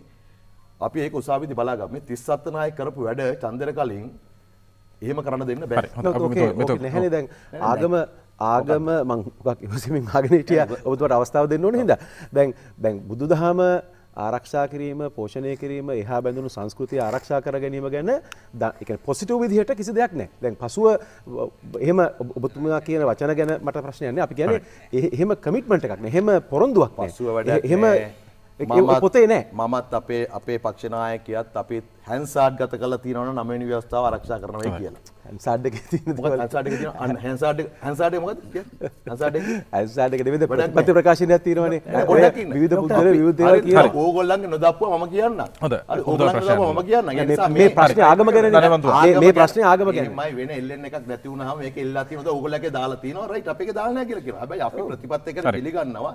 අපි හාමුදුරුවෝ පිළිගන්නවා. මේ රට පිළිගන්නවා. අපි නවවෙනි ආණ්ඩු ක්‍රම ව්‍යවස්ථාව ආරක්ෂා කරනවා කියලා. හොඳයි, පැහැදිලි. උදේ තියෙන ප්‍රශ්න. නෑ තව කාලයක් තියෙනවා. තව කාලයක්. එතකොට ඔබතුමාලා සරලවම කියන්නේ නිරාගමික රාජ්‍යයක් කියන ප්‍රතිපත්තිය ඔබතුමාලා නැහැ කියන කාරණේද? එහෙම එකක් නෑ එහෙම කරන්න බෑනේ හරි, හරි. මේ අපි රටේ මම කිව්වේ අනිත් එක තමයි මට ඕන ඒක සංජීවගේ අර ප්‍රවේශත් එක උත්තර දෙන්න පුළුවන් අපි අපි ඉදිරියට තව ටිකක් මේ මම දැන් අපි ගන්න මේ රාජ්‍යයක්නේ එතුමා කියපු එක කතාවකට මම උත්තර දෙන්න යන්නේ. ඒ කියන්නේ දැන් මේ යටිතල පහසුකම් ටිකක් හරි හැදුවානේ. ඒවට චෝදනා තියෙනවා. දැන් අපි මොකද කරන්නේ? මේ හයිවේ එක භාවිතා කරලා එතනින් එහාට සංවර්ධන ව්‍යාපෘති දියත් කරනවද? හයිවේ එක ඉවත් කරනවද? එහෙම කරන්න බෑනේ. මොකක් හරි දූෂණ ඇතුව වරායක් හදලා තියෙනවනම් ගුවන්තොට බලක් හදලා තියෙනවා නම් ඒව අමතක කරලා සම්පූර්ණයෙන් කනපිට ගහ රාජ් මේ ආණ්ඩුවක් කරන්න බෑ. ඒ මත පදනම් වෙලා දැන් ඒක කොහොම හරි කරලා ජනතාවගේ සුබසාන්‍ය යොදවන්නේ කොහොමද? ඒකෙන් ඩොලර් උත්පාදනය කරන්නේ කොහොමද කියන එක තමයි සැලකිලිමත් වෙමින් ඉන්නේ. ඉතින් මේ ප්‍රතිපත්ති ප්‍රකාශයේ ඒ දැන් තිබෙන තත්ත්වය දැන් තියෙන යටිතල පහසුකම් දැන් තියෙන භාණ්ඩාගාරය දැන් පවතින යම් සේවා හෝ භාණ්ඩ මොනවා හරි නිෂ්පාදනයක් අවම වශයෙන් හරි තියෙන දේවල් පිළිබඳව අවධානය යොමු කරමින් සැලකිලිමත් වෙමින්. ඒ ඒවත් ඉස්සරහට ගන්න අතරේ අලුත් මාර්ග කීපයක් පාද ගන්න විදිය ගැන තමයි අපි කතා කරන්නේ. මොකද එහෙම නැතුව කොට්ට උරයක් කන පිට ගන්නවා වගේ රාජ්‍යයක් එහෙම මේ මේ ගත්ත ගමන් එහෙම අනිත් පැත්ත ගහන්න බෑ. අපි මේ transformation එක කරගන්න මොකද අපි ඉන්නේ තාම අවධාරණ තත්වයක. තියෙන තැන සිට ක්‍රමානුකූලව ජන ජීවිතේට බාධාවක් හැටියට තමයි පවත්වාගෙන යන්න ඕනේ. මම කියන්නේ ඒ ඒ සාකච්ඡාව හොඳයි සංජීව. මම කියන්නේ ඔබ ඔබ කියන එකට ඔබට රයිට්. ඔබ හැදුවා අපි එතකොට ඒකට දැන් මොකද්ද කියන්නේ? නමුත් ඒ සාකච්ඡාව පැත්තක දාලා මේ නිකන් අදාළම නැති දැන් අපිට අපිට මේ රටේ ජනතාව බලයක් දෙන සූදානම් වෙනකොට මේ අනාගමික රාජ්‍යාරි ආගම් සම්බන්ධ ප්‍රශ්නයක් පටලවා ගන්නේ මොකටද? දැන් අපි අර ආර්ථිකමය වශයෙන් කාරණාවලට આવොත් දැන් ඒවට කියන්නේ නිකන් මේ පිස්සු ප්‍රකාශ වල තියෙන තේරුමක් දැන් නෑ මම. ල- රනිල් මම වික්‍රමසිංහ- කනගාටු වෙනවා මේ වගේ සාකච්ඡාවක් ඔය වගේ දක් මේ මේ ඇදගත් එක්ක ගැන. දැන් රනිල් වික්‍රමසිංහ මහත්මයා යෝජ ඇත්තරම කියන්න අපිට අපි කියන්න මෙන මෙතන ප්‍රශ්ල ඇති. දැන් ප්‍රධාන පක්ෂ තුනම මේ සම්බන්ධ ස්තැන් ප්‍රතිපති ප්‍රකාශයක් කියන්න අපි ජනතාවට දිරිපත් කරහම ඒ ඒ තුළ තමයි ජනතාව අනුමැතිය දෙන්නේ. ඇති ඔබ කියන කාරණය අපි සතුරි ඔබ ඒ ප්‍රසිද්ධිය ප්‍රකාශ කරගෙන. නමු අපේ පක්ෂ මම කියන්නේ ඇයි දැන් ඔබතුමාලගේ පිටු 213ක් තුල තියෙන කාරණය තුල ඔව් 231 231 ඔව්. එතකොට මේක ඇයි ඇතුළත් කරන්න බැරිවුණ මොකද අර පූර්ව පූර්ව ඇසරීම් එක මේ හැමතැනම මේ ජනතාවට කතාවෙන්න මේ මේ මාතෘකාවේ දො- දොලේ මේ ඔයාට මේ- මේ කලින් ඇහුවද ඔය ප්‍රශ්නය? නෑ අපිට ම- මේ මේ වෙලාවේ මට මං අහන්නේ දැන් ඊට කලින් සංවාද වල හම්බුණා හම්බුනේ නෑ මං දැන් කියන්නේ මේ- මං කියන්නේ මේ මේක මේ- මේ ඔබතුමාලා පොඩි වැරදි කරන්නේ ප්‍රශ්න ආවේ නෑනේ ඉතින් අපේ භාවිතාව ඇතුලේ හරිද භාවිතාව ඇතුලේ අපි ආගම් එක්ක ළඟින් කටයුතු කරලා තියෙනවනම් ඒ ආගමික නායකයන් එක්ක ළඟින් කටයුතු කරලා තියෙනවනම් ඔබ කාදිනතුමා අපි මුණ ගැහෙනකොට හරි හාමුදුරු මුණ ගැහෙනකොට හරි මේ ප්‍රශ්නේ නැත්තම් ඕක ප්‍රශ්නයක් වෙලා තිබුණේ නෑ. එතකොට මොකටද අපි අමුතියෙන් දාන්නේ? මේගොල්ලොත් මේක දාන්නේ නෑ මේ ප්‍රතිපත්ති ප්‍රකාශ කලින් ආවේ නැත්තම්. හරිද? ඔහොම සාකච්ඡාවක් තිබුණේ නෑ. ඕක නෙමෙයි මූලික සාකච්ඡාව. ඔය ඇවිල්ලා දැන් ඊටාම අර අර ඊටාම තක්කඩි හැටියට රටේ ප්‍රශ්න යට කරලා ආයෙ මේ නිකම් මේ වෙන ප්‍රශ්නයක් ඇති කරන්න නැති. ඕකට ඕක වැඩක් නෑ. ඕක ප්‍රතිඵලයක් එන්නේ අපි ඡන්ද ප්‍රතිඵලයෙන් බලමු මොකද්ද ඕකට ලැබෙන්නේ කියලා. හැබැයි මම කියන්නේ මම කියන්නේ මේ රටේ ජාතික සමගියට බාධා කරන හැටියට ආගම් අතර ආගම් අතර ප්‍රශ්න හදන හැටියට මේවා ක්‍රීම් වහම නතර කරන්න ඕන. දැන් මේක විතරක් නෙවෙයි. බුදුදහම ගැන කතා කරන එක බුදුදහමේ අයිතිය ගැන කතා කරන එක එක සමගිර බාධා කිරීමක්ද ඒක හරි කතාවක්නේ නෑ නෑ, නෑ ඔයා මොකද සමගි ජන බලවේගෙන් දාවේ නැත්නම් වෙන වෙන පක්ෂකින්ද? ඒ සමගි ජන බලය. දැන් තමයි බුද්ධාගම කතා කරන්නේ. ඇයි මොකද අපේ රටේ අපේ රටේ ඒ කාලේ ඔය තරුණ හාමුදුරුවෝ පන්සල් වලින් පැහැරගෙන ගිහලා ඝාතනය කරපු කණ්ඩායම ඔග- ඔගලනේ ඔගලනේ හාමුදුරුවෝ වෙඩි තියලා මරලා ඕගොල්ලෝ තමයි. අපේ අපේ අපේ විශ්වවිද්‍යාල හාමුදුරුවෝ මරේ ඕගොල්ලෝ ඒවා- මුල්ලේ? ප්‍රේමාලෝකට වෙඩි තිබ්බේ කවුද? මේ ඒවත් මෙතන දැන් ආය අද ගන්න ඒක තමයි කියන්නේ. අදින්න එපා. ඒක අදින්න එපා. ඒක නෙමෙයි ප්‍රශ්නේ. හරි? ඒවා ඒතේ. අපි හැදුනේ බෞද්ධ සංස්කෘතිය ඇතුලේ. හරිද? ඒක නිසා ඒවත් පොඩි මෙයා ළමයි ඔගලගේ නායකයෝ තමයි කරේ. ඔබතුමා කරපු. බගුලක් නෑ. මේ- ඔබතුමා මේ- පොඩි ළමයෙක්නේ. හරි. අපි- දන්න දේවල් ඔබතුමාගේ වයසට ඔබතුමාට එක් කරන්න විදියක් නෑ දන්න දේවල් වලින් කතා කරන්නේ. හරි? දන්න දේවල් තියෙනවා දන්න. දේවල් තියෙන නිසා මේ පොතේ පතේ තියෙන දේ කතා කරමුකෝ. නෑ පොතේ අපි හරියට මේක ස්ථානගත කොහොද මොන ඔය පොතේ බුදුදහම ගැන කොහෙද කියලා තියෙන්නේ ඔය පොතේ කොහෙද කියලා තියෙන්නේ ආගමික සහජීවනය ගැන? ඔය ඔය පොතේ කොහෙද කියලා තියෙන්නේ සිංහල බෞද්ධ සංස්කෘතිය ආරක්ෂා කර ගැනීම ගැන? බෞද්ධ සංස්කෘතිය ආරක්ෂා කරනවා කියලා අපි මේ රටේ ජනතාවට පොරොන්දු වෙලා තියෙනවා. අපි කියලා තියෙනවා. ඒක ජනතා. ප්‍රශ්නයක් නෙමෙයි. පොතේ නෑ. ජනතා ප්‍රශ්නයක් නෙමෙයි. ඕගොල්ලෝ පොතේ දාලා මොකද කරේ කියලා කියන්නකෝ. පොත්වල දාලා හොඳයි, අනුග්‍රහ ව්‍යවස්ථාවට ඕගොල්ලෝ ඇතුළත් කරලා 78 හරි, අපි- අපි- මේ- මේ කාරණේ. මේ රටේ බුද්ධාගම මොකද්ද කරේ? බුද්ධාගම මේ මේ මේ තැනට පත් වෙනකම් ඕගොල්ලෝ හරි, නලින් මහතුමා, නලින් මහතුමා. මේ ඒවෙන් අද ගන්න එන්න එපා. අපි ආර්ථික කාරණයට આવොත් එහෙම දැන් රනිල් වික්‍රමසිංහ මහත්මයා යෝජනා කරලා තියෙනවා වැටු පැඩීම ඔබතුමන්ලත් ඒ වැටු පැඩීම යෝජනා කරලා කලින් තව ප්‍රශ්නයක් තියෙනවා. දැන් මෙතුමාලා මේ විශිෂ්ට දර්ශනයක් ඉදිරිපත් මොකක්ද මේ මොඩල් එක? මේක වෙන ලෝකේ තියෙන එකක්ද? නැත්නම් මේ ඔබතුමාලාම හදාගත්ත මොඩල් මේ මේ අහපු ප්‍රශ්නේ. ප්‍රශ්නේ. මේ ප්‍රශ්නේ ඔබතුමාගේ ප්‍රශ්නේ ඊට පස්සේ යමු මම මේක අහන්න අහන ප්‍රශ්නේ පස්සේ. දැන් ඔබතුමාලා වාහන පර්මිට් සම්බන්ධෙනුත් ආනයන සම්බන්ධෙනුත් කතා කරා. ඒ තැනට ඔබතුමන්ලගේ ආර්ථික දැක්ම ඇතුළේ වෙනස් වීමකට යන්න පුළුවන්කම තියෙනවද? මෙමයි. ආර්ථිකය වර්ධනය වන ආකාරය සහ අපේ සංචිත ශක්තිමත් වෙන ප්‍රමාණය අනුව තමයි මේ ආනයන සීමා ලිහිල් කරන්න වෙන්නේ. ඒ නිසා මේ ඡන්දයක් අටේ තියාගෙන අපි ආනයන සීමා ලිහිල් කළ සම්පූර්ණ වාහන ආනයනට සම්පූර්ණ අනුමැති දෙන වගේ දෙයක් මේ වෙලාවේ මම කියන සූදානම් නැහැ. ඒ වගේම තමයි වැටුප් වැඩි කිරීම ගැන දැන් ඔය කියපු දේවල් කැබිනට් පත්‍රිකාව දාලා නැහැනේ. දැන් මැතිවරණ කොමිසම කියනවානේ ඡන්දෙට කලින් එහෙම කිව්වට කෝ කැබිනට් පත්‍රිකාව කියලා. එහෙම කරලා නැහැ. නෑ, තියෙනවද? තියෙනවා, තියෙනවා. තියෙනවා පෙන්නන්න. ඔයගොල්ලෝ මැතිවරණ කොමිසමට එවන්න. මට ප්‍රශ්නයක් නැහැ හැබැයි. කොමිසම තියෙන දේවල් කිව්වේ. වැරදි කතාවක් හරි. කොමිසමට කියන්න. ඒක හරි. කොමිසමට ඉදිරිපත් එතකොට මේ තියෙන තත්ත්වය මත තමයි අපි මේ යෝජනා ඉදිරිපත් කළා තියෙන්නේ. ඇත්තටම මේ රජයේ සේවකයන්ට අපි කියලා තියෙන්නේ මොකද්ද? අ, වැඩි වන ජීවන වියදම අනුව. ජීවන වියදම අනුව තමයි අපි වැටුප් වර්ධක දෙකක් ලබා දෙන්න උත්සාහ කරමින් ඉන්නවා. අපි පුළුවන් තරම් උත්සාහ කරනවා ජීවන වියදම වැඩි නොකර පවත්වාගෙන යන්න. ඒක තමයි අපේ මූලික පරමාර්ථය. මොකද මේ මේ වෙලාවේදී අපිට මේ ආර්ථිකය චලනය කරගන්න වෙන්නේ විශේෂයෙන්ම වියදම් කප්පාදු ඇතුලේ. එහෙම නැත්නම් භාණ්ඩාගාරය ශක්තිමත් කිරීමකින් තොරව තවදුරටත් බෙදන්න බෑ. හරිද? අනිත් එක මම කියන්නම් දැන් අපේ ප්‍රතිපත්ති ප්‍රකාශයේ මෙතුමා මොඩල් එක ඇහුවා ඔබතුමාට ඒක ඔව් දැන් එක විවේචනයක් එනවා මේ ප්‍රතිපත්ති ප්‍රකාශ තුනම එක වගේ කියලා. සමහර ඔය එලි කියන පටන් අරගෙනත් තියෙනවා මේ එකම තැනින් මුද්‍රණය කරපුවත් දන්නෙත් නැහැ කියලා. හතර හතරමන අපේ කරේ නෑ නෑ. නෑ ඒගොල්ලෝ කියන ඒගොල්ලෝ එක නෑ කියලා ගොඩක් අය කියනවා අපේ සජබ එකයි කියලා. හරිද? එතකොට මේ මේකේ ඔව් අපි ඇත්ත. මේකට නමක් ඉදිරිපත් කළා නෑ. අපි නම නෙමෙයි වැදගත්. මේක අන්තර්ගතය බලන්න. අපේ ක්‍රියාමාර්ග බලන්න, වැඩපිළිවෙල බලන්න. ඒක ඇතුලේ මොකද්ද අපි කියන්න හදන කියන එක බලන්න. සෝෂල් මාකට් ඉකොනොමි කියලා උදේ හවස 300ට පස්සරයක් දේශන මේ කිව්වත් වැඩක් නෑ. මේක මේ මේ මේ මේ සජ්ජායනය කරත් වැඩේ මොකද්ද කියන බලන්න ඕන. නම් දාගන්න පුළුවන් ඕන තරම්. දැන් මෙතුමාලා දාලා තියෙන මොකද්ද? මොකද්ද? තේරවාද තේරවාද මොකක්ද එකක් කියලා දාන ආර්ථික ක්‍රමයක් කියලා. මම දන්නේ ඒක ඒක සංකල්ප මොකද්ද කියලා නම් දාගන්න පුළුවන් ගොඩක්.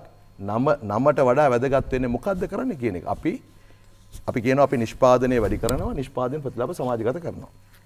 ඊළඟට මම කියන්නම් දැන් අපේ රටේ ඔය අරගලේ ඉඳලම තිබුණා මේ දේශපාලඥයන්ගේ වරප්‍රසාද කප්පාදුව පිළිබඳව ඉල්ලීමක් තිබුණා. අරගලේ ප්‍රධාන සටන් පාඩයක් ඒක. මෙන්න අපේ ප්‍රතිපත්ති ප්‍රකාශය ලියලා තියෙනවා මෙහෙම. ජනාධිපති නිල නිවාසය එකට පමණක් සීමා කිරීම. විශ්‍රාමික ජනාධිපතිවරුන්ට හා ඔවුන්ගේ කලත්‍රයන්ට දී ඇති විශ්‍රාම වැටුප් විශේෂ දීමන හා වරප්‍රසාද අහෝසි කිරීම. පාර්ලිමේන්තු මන්ත්‍රීවරුන්ගේ පුද්ගලික කාර්යමණ්ඩලය සඳහා පවුලේ ඥාතීන් බඳවා නොගැනීම. පාර්ලිමේන්තු මන්ත්‍රීවරුන්ට සැසිවාරික සහභාගී වීම වෙනුවෙන් ගෙවන දීමන අහෝසි කිරීම. පාර්ලිමේන්තු මන්ත්‍රීවරුන්ට වසර 5කින් පසු ලබා දෙන විශ්‍රාම වැටුප් අහෝසි කිරීම. මන්ත්‍රීවරුන්ගේ තීරබදු රහිත වාහන බලපත්‍ර ක්‍රම ඉවත් කිරීම. පාර්ලිමේන්තු මන්ත්‍රීවරුන්ට දූර කාල තුරදී එක් වාහනයක් පමණක් ලබා දීම. විද්‍යාත්මක වෙන් කරන ලද අමාත්‍යාංශ 25කට ඇමතුරු 25ක් සහ අනුරූපී නියෝජ්‍ය ඇමතුරු පත් කිරීම සහ රාජ්‍ය ඇමති දුර අහෝසි කිරීම කියලා බොහොම පැහැදිලිව බොහොම පැහැදිලිව කරුණෙන් කරුණ කරුණෙන් කරුණ ලියලා. තියෙනවා මොකක්ද අපි කරන්න කියලා ඔබතුමාට විශ්‍රාමයට කියක් හම්බෙනවද? මටද සීරෝ හරි ඔබතුමාගේ පක්ෂයට කොච්චර බැර වෙනවද? සීරෝ මගෙන්ද ඔව්. සීරෝ එතකොට ඔබතුමාලා විශ්‍රාමයට ගන්න. මට හම්බෙන්නේ ඔබතුමාට හම්බෙන්නේ එතකොට පක්ෂයට යනවනේ. නේ මං කියන්නේ මට මේ මට එකට ප්‍රශ්න හම්බෙන්නේ නැහැ. නැහැ මං කියන්නේ ඔබතුමාලා ගණනය කරන ප්‍රමාණය නෑ, මෙතුමා 40000ක් අවුරුදු හතරම විතර. අරන් නෑ ආ, මේක කරන්න. නෑ ඔබ අහන ප්‍රශ්නට හොඳම උත්තරේ මෙතන එළියට එනවා මට මේ කියන්න දෙන්න මේ සියලු දෙනා වෙනුවෙන් අවුරුදු පහක් ඒ කියන්නේ එකපාරක් පාර්ලිමේන්තුවක් මිනිහෙකුට විශ්‍රාම වැටුපක් කරනවා කියලා මහා පට්ටපල් නේද? අන්න අද නලින්ද තිස්ස සහෝදර ඔප්පු කළා. එතුමාට නෑ ලැබෙන්නේ නැත් මං කියන්නේ මේ පහෙන් ලැබෙන්නේ නෑ ඊයේ ඉතින් අපි ඇත්ත කියමුකෝ. පහෙන් ලැබෙන්නේ නැහැ නෙවෙයි ඔව්. අපිට පහෙන් ලැබෙන්නේ නැති මොකද දන්නවද ඔව්. දැන් 2015 ව්‍යවස්ථාව සංශෝධනය කරලා පාර්ලිමේන්තු මන්ත්‍රීවරුන්ගේ දූර කාලය අවුරුදු 5 කරා. පෙන්ෂන් එක හම්බෙන්නේ අවුරුදු 5න්මයි. එතකොට ඒ පාර්ලිමේන්තුවේ හිටපු මන්ත්‍රීවරුන් බහුතරයකට පළවෙනි සැරේ ආපුවට හම්බෙන්නේ නැහැ. 2000 2001 ත් ආපු සමහර අයට මෙ- මෙහෙම හම්බෙන්නේ නැති අය.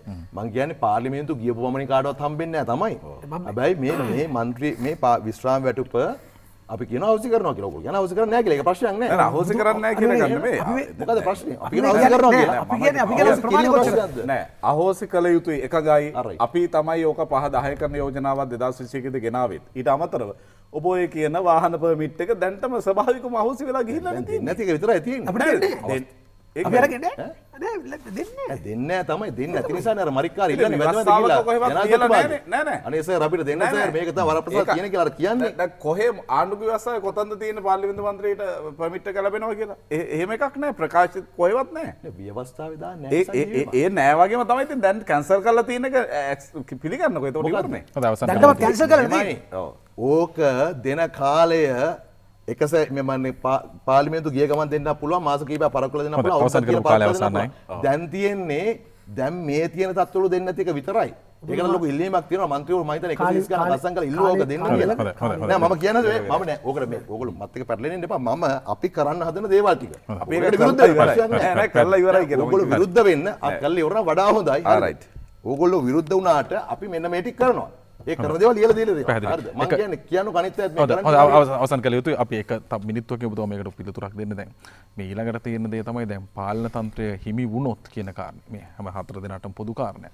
එතනින් පසු ක්‍රියාවලිය ගෙනියන්නේ කොහොමද කියන කාරණේ ඔබතුමාලට වැඩ පිළිවෙලක් තියෙනවද? බොහොම විනාඩියෙන් ඇතුළත කෙටියෙන් පැහැදිලි කරු. ඔබ කියන්නේ ජනාධිපතියෙන් පස්සේ? පස්සේ. ජනාධිපතිතුමෙන් පස්සේ භාරකාර ආණ්ඩුවක් පත් වෙන ක්‍රම කීපයක් තියෙනවානේ. සරලම ක්‍රමය කාටවත් ප්‍රශ්නයක් නැති ක්‍රමය. ජනාධිපතිතුමා කඩක් කඩාකප්පල්කාරී හැටියට ජනාධිපති ප්‍රතිඵල එන්න කලින් පාර්ලිමේන්තු ඉසුරුවේ නැත්නම් හරිද? කඩාකප්පල්කාරයට වන්න කරන්න පුළුවන්. එහෙම නැත්නම් අපිට පුළුවනි අපි ඉන්න හතර දෙනාගෙන් කැබිනට් එක පත් කරගෙන යන්න. ඒක ඊටම සරල පහසු කාටවත් ප්‍රශ්නයක් නොවන ක්‍රමයක්. දින 52යි යන්න ඕන. ඒකේ පොතු යන්න පුළුවන්. තව ක්‍රම තියෙනවා. මම කියන්නේ සරල ක්‍රමයක් තියෙද්දි අපි ඒකේ අපි ඉන්න බලමු. එතනින් එහාට තියෙනවා ගැන අපි සලකා බලමින් ඉන්නවා. ප්‍රශ්නයක් නෙමෙයි. ව්‍යවස්ථාවට එකඟයි ජනවරම එකඟයි. හොඳයි බොහොම ස්තුතියි ඔබතුමන්ට සංජය දිරිමන් මන්තුනේ ඔබතුමාට අවස්ථාව. දේශපාලනයයි ආගමයි පටලවා ගැනීමක් ගැන නූතන සමාජ විවේචනයක් තියෙනවා. මේ පහුගිය කාලේ බංගලාදේශයේ ලෝකේ ලොකු මාතෘකාවක් වුණා ෂේක් මුජිබර් රහමන් බංගලාදේශය නිර්මාණය කරනකොට ඔහු විසින් ඒ කියන්නේ ඔහු ඉස්ලාම් භක්තිකයෙක් විදිහ වුණාට අපිට පේන්නේ තවත් වෙනම මුස්ලිම් රාජ්‍යයක් හදනවා කියන අනාගමික රාජ්‍යයක් කියන පදනම මත තමයි බිහි වෙන්නේ. හැබැයි බංගලාදේශයේ පළවෙනි ආණ්ඩුක ව්‍යවස්ථා සංශෝධනයේ එන්නේ 71 ඉඳන් මට මතක විදිහට අවුරුදු දෙක තුනයි ඉස්සරහට යාලා ගියේ. එය ඉස්ලාම් රාජ්‍යයක් විදිහට නම් කිරීම කියන එක. එතකොට මේ ආගමික සංස්කෘතික පදනමක් මත රාජ්‍යයේ පැවැත්ම කියන එක තාම ලෝකෙ අහෝසි වෙලා නැහැ. කියන්නේ අපි කැමති හෝ අකමැති හෝ අපි දැක්කනේ කවුද රිෂික් සුනක් Tamanගේ Hindu ආගම මත තමයි අර ක්‍රිස්තියානි කතෝලික සංස්කෘතියේ මහගෙදර වගේ තැනක අගමැතිකමේ දිවුරුන් දෙන්නේ. ඒ කියන්නේ ඒක හොඳද නරකද කියලා පැත්තකින් තිබත් ඒ බැහැර වෙන්න බැරි තැනක තමයි 2024 ලෝකේ තියෙන එක. ඩොක්ටර් නලින් ජයතිස්ස මැතිතුමා කිව්ව එකකට එකඟයි. මං කියන්නේ බොහෝ දේවල් කියන එකෙන් භාගයක් කපලා සෝෂල් මීඩියා දාන එකෙන් වැඩිපුරම කළේ කවුද කියන එක අපි අපේ හෘද සාක්ෂි විසින් තේරුම් ගමු. මම ඔබට එක උදාහරණයක් කියන්නම්. නාමල් රාජපක්ෂ වෙනුවෙන් අපි අපේ කැම්පේන් එක ඩිසයින් කරන වෙලාවේ මේ රටේ එක් එක් ආයතන වලට අපි දුන්නා අපිව පොලිටිකලි මාකට් කරන්න පුළුවන් විදිහ මම අමුවෙන් ඇත්ත කියන්නේ ඔබ අපිට කන්සෙප්ට් එකක් ඇවිල්ලා ප්‍රසන්ට් කරන්න කියලා. ඒක ආයතනයක් ඇවිල්ලා 12යි ප්‍රසන්ට් කළා. AI තාක්ෂණයෙන් කවුරු හරි කියපු නැති එකක් එයා කියන වගේ අපි හදලා දෙන්නම් කියලා. අපි කිව්වා ඵලයල යන්න. අපිට කැම්පේන් එක එපා. ඒක අපි කියන්නේ දැන් ඒක උදාහරණ තමයි අජිත් පෙරමැතිතුමා නොකිව්ව කතාවක්. එතුමාගේ කට සෙලවෙන විදිහට ඔහුගේ හනින්ම හදලා ඒ අයි තාක්ෂණයෙන් දාන්න බල මොකටද එහෙම දේශපාලනය කරලා. ඒක ඇත්ත. ඒ ඒ ඒක අපි අපි කියන්නේ සමහරලාවට ඔය රූපවාහිනී මාධ්‍ය අපි හිතමු උදාහරණයක් අපි මයික් එකෙන් චාමරවා ලයිව් එකක් කරගෙන යනකොට මයික් එක තැනකින් ඩ්‍රොප් වෙලා අකුරු දෙකක් මිස් වුණොත් ඔබ කියන වචනේ කුණුහරුපයක් විතර ඇහෙන්න පුළුවන්. එහෙම වෙන්න පුළුවන්. ඒ එහෙම එකක් ලංකාවේ දේශපාලනයේ අසික්කිත වැඩේ කරන බව ඇත්ත. හැබැයි නලින් ජයතිස්ස මැත්තුමනි බිමල් රත්නායක BBCට කිව්ව කතාව නම් එහෙම එකක් නෙවෙයි. ඉතා පැහැදිලි මගේ වොයිස් කට් එක දාන්නම්. මට අවසරයි චාමර. හරි. මට මේ හැතෙන්නේ මේ සරෝජ් පතිරණ විය යුතුයි මේ කතාව. ලංකා බෞද්ධ සිංහල බෞද්ධ රාජ්‍යයක් කියන එක ඔබ පිළිගන්න. නෑ. ශ්‍රී ලංකාව සිංහල බෞද්ධ රාජ්‍යයක් නෙමෙයිනේ. ශ්‍රී ලංකාවේ සිංහල බෞද්ධ රාජ්‍යයක් වෙන්න විදියක් නෑ. මොකද ලංකාවේ ජනගහනයෙන් අ, හතරෙන් එකක්ම ඉන්නේ හතරෙන් තුනක් සිංහල අය. අ, ඊට පස්සේ හතරෙන් එකක් ඉන්නේ මුස්ලිම් දෙමළ අනිත් බිමල් රත්නායකගේ උත්තරේ ඉතාම නෑ නෑ නෑ මං කියනගෙන මම මේක ඉවර කරලා දෙන්න. බිමල් රත්නායකගේ උත්තරේ අතිශය තාක්ෂණිකයි. ඔහු කියනවා මේක කොහොමද සිංහල බෞද්ධ රාජ්‍යයක් වෙන්නේ. ජනගහනෙන් මෙච්චරක් අ, සිංහල නොවන ජනගහන තාක්ෂණිකයි. හැබැයි මං කියන මේක එඩිට් එකක් නෙවෙයි. මේක මේක දැන් මෙතනදී තිබෙන එක තමයි මම කියන්නේ NPP මම කියන්නේ නැහැ. NPP ආණ්ඩුවක් ආවොත් NPP ආණ්ඩුවක් එන්නේ නැහැ මගේ දේශපාලන විග්‍රහයට. ඒ කියන්නේ මම NPP නොවීම මත නෙමෙයි මගේ දේශපාලන ගණන් ඇදිලා නු. හැබැයි NPP ආණ්ඩුවක් හෙට ඇවිල්ලා දළදා පෙරහැර නතර කරයි කියලා රංජි වෙදිරිමාන් වගේ එකෙක් විශ්වාස කරන්නේ මං එහෙම ගොන් නෑ. හැබැයි. මගේ තර්කය ඒක නෙමෙයි. මගේ මගේ තර්කය ඒක නෙමෙයි. ඔබ පළමුව කළ යුත්තේ අජිත් පෙරරා එක්ක හැපෙන එක නෙමෙයි බිමල් රත්නායකව ප්‍රතික්ෂේප කරන එකයි. ඔබ කළ යුත්තේ. ඊළඟ එක. මගේ ප්‍රශ්නේ. දැන් මේ මේ සිංහල බෞද්ධ රාජ්‍යයක් කියලා ඕගොල්ලෝ ව්‍යවස්ථාවට ගේනවද? මම ඇයි- ඇයි ව්‍යවස්ථාවේ බුදුදහමට ප්‍රමුඛස්ථානය ලබා දෙන අතර බුදුදහම ආරක්ෂකකට පෝෂණය කිරීමක් කියම රජය සතුයි කියලා වාක්‍යයක් එන්නේ ඇයි?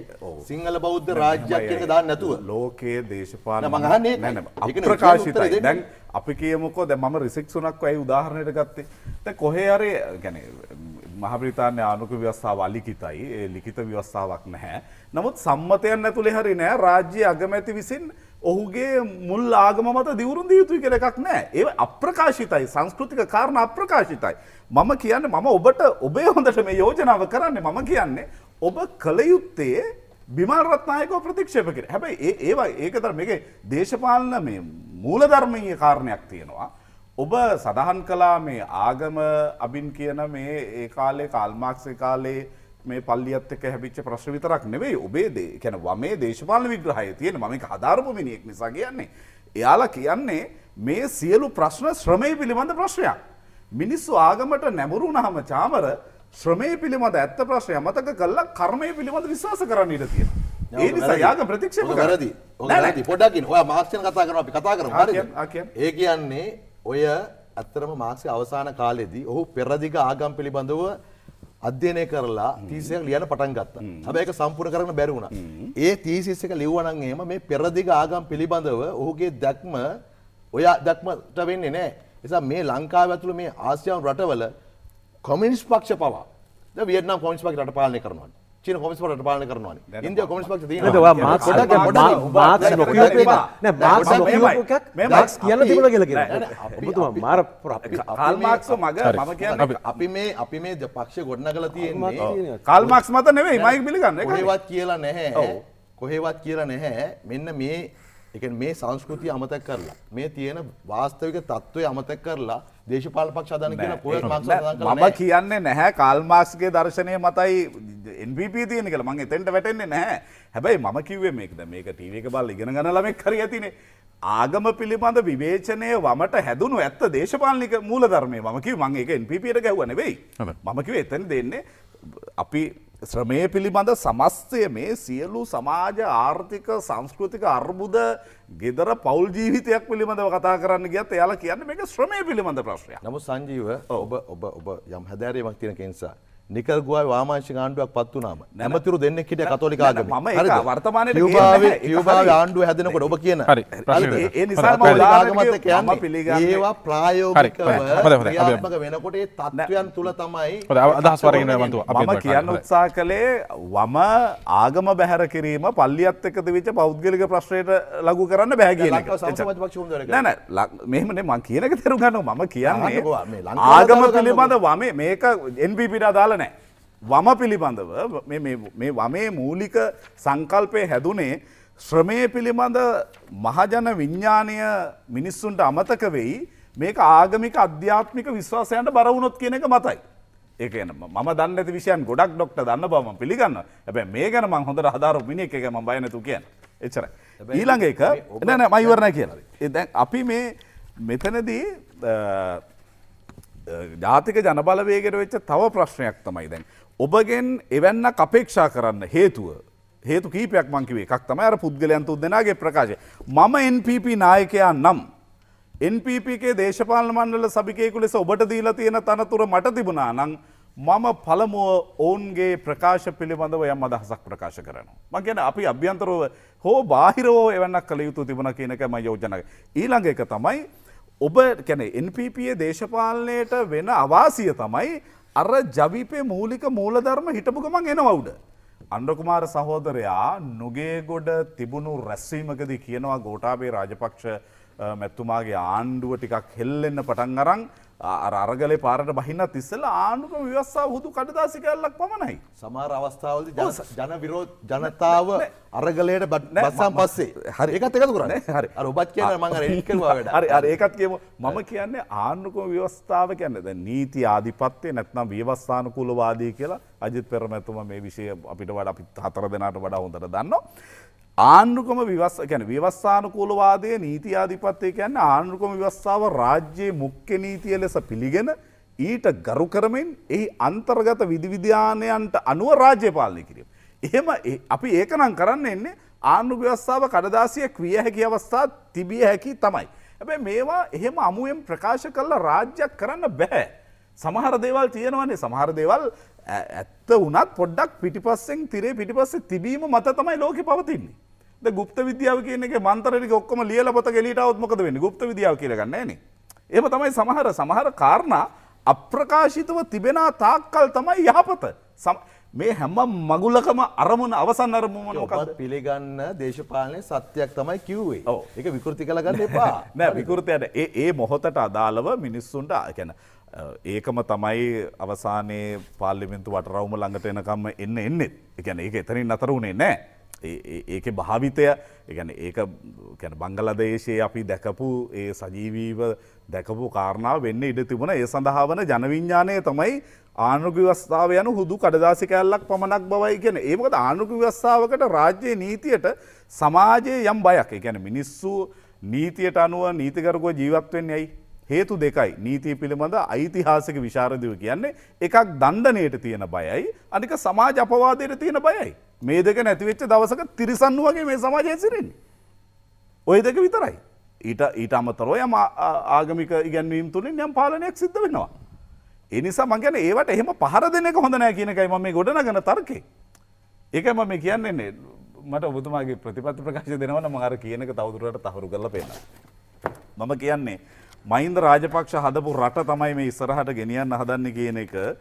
මේක මේ අර මසාමන් ඩිබෙට් සොල්ටනොට වැඩි කරදස් කියන්නේ එක වුණේ මන්දක මේක දෙන නැගෙනහිර නවෝදාව කියලා. නැගෙනහිර තිබ්බේ අඳෝනාවක් මහින්ද රාජපක්ෂයෙන්ට පෙර. මේ රනිල් වික්‍රමසිංහ ගරු ජනාධිපත්තුමා කියන නැගෙනහිර නවෝදය කියලා අපි කැම්පේෙන් එකක් කලා අවුරු දෙක හමරත් දෙක මේ නැගෙනහිර නවෝදාවන මේ අදෝනාවක් නැගෙනහිරති ඒකයි ම කියන්න මහින්ද රාජපක්ෂ ගොඩනගපු තැනින් එහාටයි මේ රට මේ ප්‍රතිපත්ති ප්‍රකාශ තුළ කතා කරන්න කියලා. මේ උත්තුරේ යතුරු නෙමේ උතුරේ පාලන් ගැන කතා කරන්න තිබෙන නැත්තම්. උතුරේ බිම්බෝම ගැනයි කතා කරන්න වෙන්න නැත්තා රණ වික්‍රමසිංහට. එම නැත්තං උතුරේ මිනිස්සුන්ට පාර බැහල යන්න පුළුවන් සාමයක් පිළිබඳව කතා කරන්න. මේක තහවුරු කරන්න ලගු කරන්න එපා එතනට. මම කියන්නේ සංවර්ධන ව්‍යාපෘතිවලින් ඒක අනාගත්තන. අපි දුන්දනාමදන් උදාහරණයක් කියන්න මයිතන අජිත් පරමැත්තුම දන්න ඇති. ඔබතුමා දන්න අනිවාරය අගලවත්ත ඩවුන්න එක තියෙනවා. මොකක් දෝ මන්ද හදපු දඩ බිල්ලින්න එක. චාමර මයිතන මිලියන ගාන මට අගලවත් හිටපු සභාපති චාමිදරනෝක මැත්තුමා කිව්වේ ගාන මට ඔලුවට එන්න අසාමාන්‍ය මුදලක් වීදම් කළා. ආපදා කළමනා කර මත්තේ. අමත්තන්සියරත මගේ තුමාගේ නම කියන්න එන්න පුද්ගලික පහසයක් වෙයි කියලා මගේ වෙන්නකට වැටෙන් අකමැති නිසා. අන්න සංවර්ධනය වරද්ද ගත්ත තැන් ඒ බිල්ඩින් එකේ මම දිසාපත්තුමාවත් එක්කන් ගිහිල්ල ම කිව්වා දිසාපත්තුමා මේක කෑලිටික ගලවල හරි ගන්න දෙයක්. බිල්ඩින්න එක ගලවන්න තුළට එන්නවත් පයි තරම් කණ්ඩෙම කල ස්ට්‍රක්චරල් ඉංජිනියස් ලැවිල්ල කියලා තියෙන්නේ මේක ළඟටවත් එන්න පා කියල්. අන්න සංවර්ධනයෙන් වැරදි විදිහට කරන්න ගිහම වෙන තැන්. හයිවේකේ මං ඒ අපි ඒක එහෙම දකින්නේ නෑනේ. මං කියන්නේ මේ ප්‍රශ්නය එනවා චාමර චීනය ලෝකයේ දියුණුවමින් පවතින රටවල් වල ඔබ ලෝකයේ අධ්‍යනය කළ බලන්න මෙන්න මේ මෙන්න මේ ලක්ෂණ තුන නැද්ද කියලා. චීනය තමයි ප්‍රධාන ආයෝජකයා. චීනය තමයි ප්‍රධාන වෙළඳ හවුල්කරු. චීනය තමයි විශාලතම නයහිමිකරු. මේක ලෝක එක්තරා ට්‍රෙන්ඩ් එකක් වෙලා තින්. මෙන්න මේ මත ඇබැ මේ ඇතුට ප්‍රශ්වත් තියෙන අද අප්‍රිකන් කලාපය සම්බන්ධව මතුවෙන ඇතැම් කාරණාවලට එහෙම චෝදනා හැදිලා තියෙන හැබැයි මහින්ද ජනාධිපොත්තු ඒ කාලේ චීනය තමන්ගේ රටේ සංවර්ධන පාර්ශවකරුවෙක් කරගන්න ලෝකෙ තරගයක් තිබිච් වෙලාවගේ කළේ චීනය අපි පස්සෙන්ගෙන වෙලාවක නෙවේ එක කළේ. චීනය නැමති ගොඩනැගෙන මේ දැවන්ත ආර්ථිකය දියුණු වෙමින් පවතින රටවල් අතර තරගයක් හැදුනා චීනය අපේ සංවර්ධන පාර්ශවකරුවෙක් කරන්න මහිත රජපක්ෂයක කළේ. මේකේ දියගම ක්‍රීඩාංගනය ඉදිරිිය දිර ගැන කතා කරලා තියෙනවා. මේකේ මහින්ද රාජපක්ෂ රංගහල ඊට පස්සේ ජෝන්ද සිල්ලා සමර රංගහල කලාබවන ජෝන්ද සිල්ලා එක රැපයාර් කළෙත් මහින්ද රාජපක්ෂ. ආනන්ද කුමාරස්වාම මහත්තගේ නමයින් වෙච්චක වැරදි. ඔන්න ඒ නව තියාගතර ගොඩනකපු ව්‍යාපෘති අතර හම්බන්තුට වරාය ඉළඟට නෙලුම් කුළුණ එළඟට සම්බන්ත්‍රන ශාලා මේ සම්බන්ධය ඔබතුමයි කියවීම මෙහෙමයි චාමර මං මේවා තේරුම් ගන්න මේ ලෝකෙ තියෙන දේශපාලන ආර්ථික විද්‍යාව කියලා විෂයක්. මේකෙදී ආපු තර්කයක් තමයි මහින්ද රාජපක්ෂ විසින් කරපු ව්‍යපෘති එකන නයාරගෙන කරපු ව්‍යපෘති ට්‍රේඩබල් නෑ කියලක ගැනෙන් කනම නන් ට්‍රේඩබල් කියන වෙළඳමය නොවන ව්‍යපෘති කියලා. ඒ කියන්නේ හෙටවුදේ ෆැක්ට්‍රියක් ගහලා ඒකෙන් රිජුව නිෂ්පාදනයක් බාණ්ඩයක් හෝ සේවාවක් විදියට එලියට එනවා නම් ඒක රිජු වානිජමය ආයෝජනයක්. හැබැයි මහින්ද ජනාධිපත්තුමා කළේ රිජුව ට්‍රේඩබල් නොවන ආයෝජන තමයි. ඇයි එහෙම කරන්න වනේ. අවුරුදු තිහක් යුද්ධයකට බරවෙච්ච රාජ්‍යයක අපිට ඒ මූලික නන්ට්‍රේඩබල් ආයෝජනය නොකොට ට්‍රේඩබල් ආයෝජනයක් කරන්න බෑ මොකක් මතද කරන්නේ. මෙතුමත් මගේ කළුතර ඩොක්ට නලින්දත් කළුතර අගලවත්ත ඇතුළේ. අපි තුන්දනාම පිළිගන්න වෙනවනේ මහින්ද රාජපක්ෂෙන්ට පෙර ගාලුපාර හැර කාපට අඟල් කාලක් මගේ කළුතර දිස්ත්‍රික තිබෙන චමර. අද හැබැයි ඒවා රිජුවම ට්‍රේඩබල් නෙවෙයි හැබැයි අගලවත්තේ වලල්ලාවිට මනුස්සය තේදලු ටික නෙලාගෙන වෙනදට වඩා ඉක්කොට ප්‍රධාන පාරට ෆැක්ට්‍රීක ළඟට එනවා. හැබැයි මේවා මිනිස්සුන්ට මැව්හාම මේවා ට්‍රේඩබල් නෑ හැබැයි අපි හිතමකෝ රණසිංහ ප්‍රේමදාස මැත්තුමාගේ කාලේ ඇඟලුම් කර්මාන්ත පිළිබඳ එතුමා ඉතාම වැදගත් ව්‍යපෘතියක් ගෙනනිච්චා. එක රිජුවම ඊළඟ මොහොතේ ආර්ථිකයට ට්‍රේඩබල් බලපෑමක් කරන්න. හැබැයි මහින්ද ජනාධිපත්තුමා බැලුවේ මම තේරුම් ගන්න විදිහට දේශපාල ආර්ථික විද්‍යාවෙන් මම එක තේරුම් ගන්නේ ඔහු බලව්වේ මේ මූලික පහසුකම් ටික ගොඩ නගමින් ඒ මත ආයෝජකයාව කැඳවන්න. ආයෝජකෙක් කොහොම දගලවත්ත ගෙනියන්නේ කාපට පාරක් නැති කළුතරටම. අද NPP හරි සජබේ හරි රණ වික්‍රමසිංහ මැත්තුමාගේ ආණ්ඩුවක් ඇවිල්ලා අපේ දිස්ත්‍රික්කේ හා යට්ටපාත කොනේ ෆැක්ටරියක් දාන්න වනත් මහින්ද රාජපක්ෂ පාරහදලා තියන්නේ. මං රෑත් හිටියේ ගම ඇතුළේ ඔබතුමාලා කඳවුරට ලොකු චෝදනාවක් කෙල්ලුනේ මේ සංකල්පය උදාරයි. හැබැයි දැන් අධිවේගී මාර්ගය මේ විදිහට ලේන් දෙකෙන් ලේන් තුනෙන් හදන අධිවේගී මාර්ගය කාන්තාර ලේන් හතර කටක් දාලා ඔය සල්ලි වලට හදන්න පුළුවන් කියන තර්කයක් ගොඩනගුණා කාලේ. ඒක ඇත්තක් තියෙනවද? සමාජ මේක දේශපාලනයේම විතරක් කවුලකුත් නෙවෙයි. අපේ සමාජය හරි කැමති මොකක් හරි තියෙන අවුලක් රස විඳින්න. ඒක තමයි ඇත්ත මම ඉතාම සරල ගමේ උදාහරණකින් කිව්වොත් ගමේ කොල්ලෙක් අලුතෙන් මනමාලියක් ගෙනාවොත් ඒ ළමයි ඉතාම හැදිච්ච පිරිමි ළමෙක් දිහා බලපුවත් නැති ඉතාම හොඳ ගෑල්ලමෙක් කියන එක ගමට අදාළද? අදාළ නෑ ඇහුවා. එහෙමද? හ්ම්. ගාලා නැන්දලා මාමලා ඔක්කොම යයි ඒ ළමයි ගැන කතන්දරයක් හැදුවොත් මොකද වෙන්නේ? ආපෝ අද ඔහොම හිටියට අපිනේ දන්නේ යා ඉස්කෝලේ යන කාලේ ඉඳලා කියලා මොකක් හරි කතන්දරයක් කිව්වොත් ඒක පහුදා උදේ ඉඳලා ගමට මාර අදාළයි නේද? අන්නේ නෙගෙටව් රසවින්දනය තමයි මේ දේශපාලන ඇතුළෙත් අපේ තියෙන්. ගැන කරපු වැඩකින් ලකුණක් කෙනකොට අපිට මේක පේන්නේ යුද්ධය අවසන් කරලා සංවර්ධනයත් මිනිස්සු ආස කරන දේවල්න අපි මේ දකින්න පාරක යනවගෙන අපි තාම දුක්කින්දර අදටත් අපෙන් වැඩිපුරම ඉල්ලන්නේ පාරවල්ලි. මං ඇහුව එක තැනකදී අජිත් පෙර මෙතුමා වගේ අන්ට සජබේ කවුද ඩොක්ට හර්ෂද සිල්ල මැත්තුමා දෙදස් විසියකේ අයවයෙන් පාරවල් හදන එක ගැන බරපතල විවේචනයක් කළා. මම ඇහුවා ඒක මේ ගිහිල්ල ඔබට තැන්නහේනෙදී කියන්න පුළුවන්ද? නැත්තං ඩොක්ටත් දන්න බටහේන පාර සම්බන්ධ කියන්න පුළුවන්ද කියලා. මෙතුමත් ඒ කතාව බල්ලා දවසම්මට ගුව සංජීව ඇත්ත තමයි බටහින පාරණ කොමර හදාගන්න ඕන කියලා. එතුමත් දන්නවා බටහේන මිනිස්සු විඳපුතු ඇබැයි පාර්ලිමෙන්තු ඇතුළ කියන්න පුළා මේක පාරවල් හදන වෙලාවක්ද? මේක ණයගෙවන වෙලාවක්ද ගෙන තර්කයා වෙත් එක. එතකොට මිනිස්සුන්ට අර පාර ඉල්ලන මිනිහටමත් හිතෙන්න්න පුළුවන් ඇත්ත නේද පාරට වඩා මේ එහෙම එකක් මැවෙනෝ මිනිස්සුන්ට. එහම එහෙම පොඩි ගරිල්ලා මාකටින් වැඩක් මේ දේශපාල ඇතුළ තියෙනවා. බං කියන්නේ යහපත් දේක ඇතුළෙන් ගැන මේ හැබැයි මේ ප්‍රතිපත්ති ප්‍රකාශ ඇතුළේකෙන්නේනේ. දැහෙනම් මේක කියන්න පුලන් අහවල් ව්‍යපෘතිය මෙන්න මේ ප්‍රශ්ටික තියෙන ඇබ සමහරකාරණ ගැනහෙම කියන හැබැයි යහපල්ලාණ්ඩු වෙන වෙලාවේ පෝට් සිටිය සම්බන්ධව එහෙම ආකල්පයක් තිබ්බා. ශී ජින්පිං ඇවිල්ලා තිබ්බ මුල් ගල ගලෝල අයි කලා. ගලවල අයින් කල්ලා වරාය නගරේ කියන නමට මොකක්ද වෙන වානිජ මොකක්ද වෙන නමක් දම රීබ්‍රෑන්් කරන්න හැදවා. මං ගැන දේශපාලනය අප මීට වඩ අවංකවයමු කියලා මයින්ද රාජපක්ෂ හදපු වරාය නගරය අදාපි කතා කරනවනං ඒ නමින්ම ඒක මුල්ගල බොරුවට ගලවලා ඇයි මුල්ගල ගැලවේ මුල්ගල ගැලව කියලා මේරට මිනිස්සුන්ට මොකරි හපතක් වුණාද. ඔබ හිතන විදියට ඇයි මත්තල වී ගබඩා කරන්න ඇත්තේ? ආණ්ඩුවේ බිල්ඩින් නැතුවද. ඒ ඒක තමයි අයිඩියලෝජියක චාමර මේකයි මං ගැන අර ගරිල්ලා මාකටිං වැඩේ කියලා.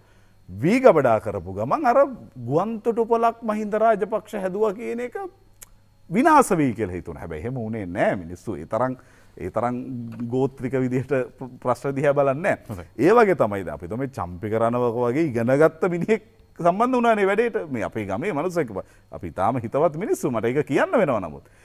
මම කියන්නේ මේ රටේ ද මේ ළඟදී හොඳ මුදාහරන මට අපි අය මම කියල සමයින්. අපි හදනවා මේ වෙලාවේ ජනාධිපත්තුමා වෙලාවේ කඳුරට දශකයන්නේ එකට මුදල් දුන්නේ. මම ලක්ෂ එකසිය පණහක් දැම්මා ඔබතුමත් හොඳරම දන්න අගලවත්තේ මහජන ක්‍රීඩාං අගලවත කිසිම පොදු වැඩක් කරන්න තැනක් නෑ. මේ ළඟදී නැන්ද කෙනෙක් මට කතා කරලා කියනවා කියන හොඳටම වයසක නැන්ද කෙනෙක් මට කියන පුතේ මේ ග්‍රවුන්් එක හදන්න මුලින්ම මැදිහත් වනේ මෙරිල් කාරියෝසම් මහත්තය පුළුවන්න්න ඔයාල මේ වැඩේ වර කළහම එතුමගේ නමින් මේ ග්‍රවුන්් එක නම් කරමුද කියල. මංකෝ හරි ශෝක යෝජනාව. මා- මාර ලස්සනයිනේ. එකන හැබැයි අපිට බෑ අන්න එහෙම පිළිගන්න මහින්ද රාජපක්ෂ හදපු වරාය නගරය අපි තොම එයාලට කියන්න අපි එකඟ නැති වැඩ තිබ්බා රාජපක්ෂ ආණ්ඩුවේ හැබැයි මේ ව්‍යපෘතිය ඇත්තටම අනාගතවාදී සංකල්පයක් අපි මේක කරමු කියන තැන්ට ලංකාවේ දේශපාලන දෙදස් විසි හතරේ දෙයාර ගේමු කියන යෝජනාවට කරන්ති. හොඳයි බොම ස්තුතියි ඔබතුමන්ට ප්‍රියවන්තු ඔබතුමන්ට අවස්ථාව. ඔව්, මම මුලින්ම කියන්න කැමතියි දැන් ආර්ථිකය ගොඩනගන එකනේ ප්‍රධාන ප්‍රශ්නය.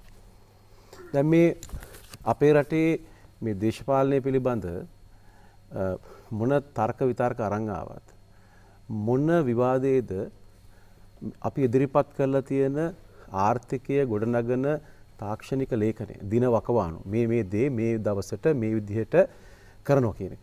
හරි ඒ ඒ බදු පිළිබඳ අපේ ස්ථාවරය අලුත් උපාය මාර්ග පිළිබඳ ස්ථාවරය කොහොමද අපනයන වැඩි කරගන්නේ කොහොමද ආනයන පාලනය කරගන්නේ මේ කාරණා පිළිබඳ මේ තියෙන බ්ලූප්‍රින්ට් 3 කියන අපේ තාක්ෂණික ලියවිල්ල ගැන කිසිම විවේචනයක් නැහැ.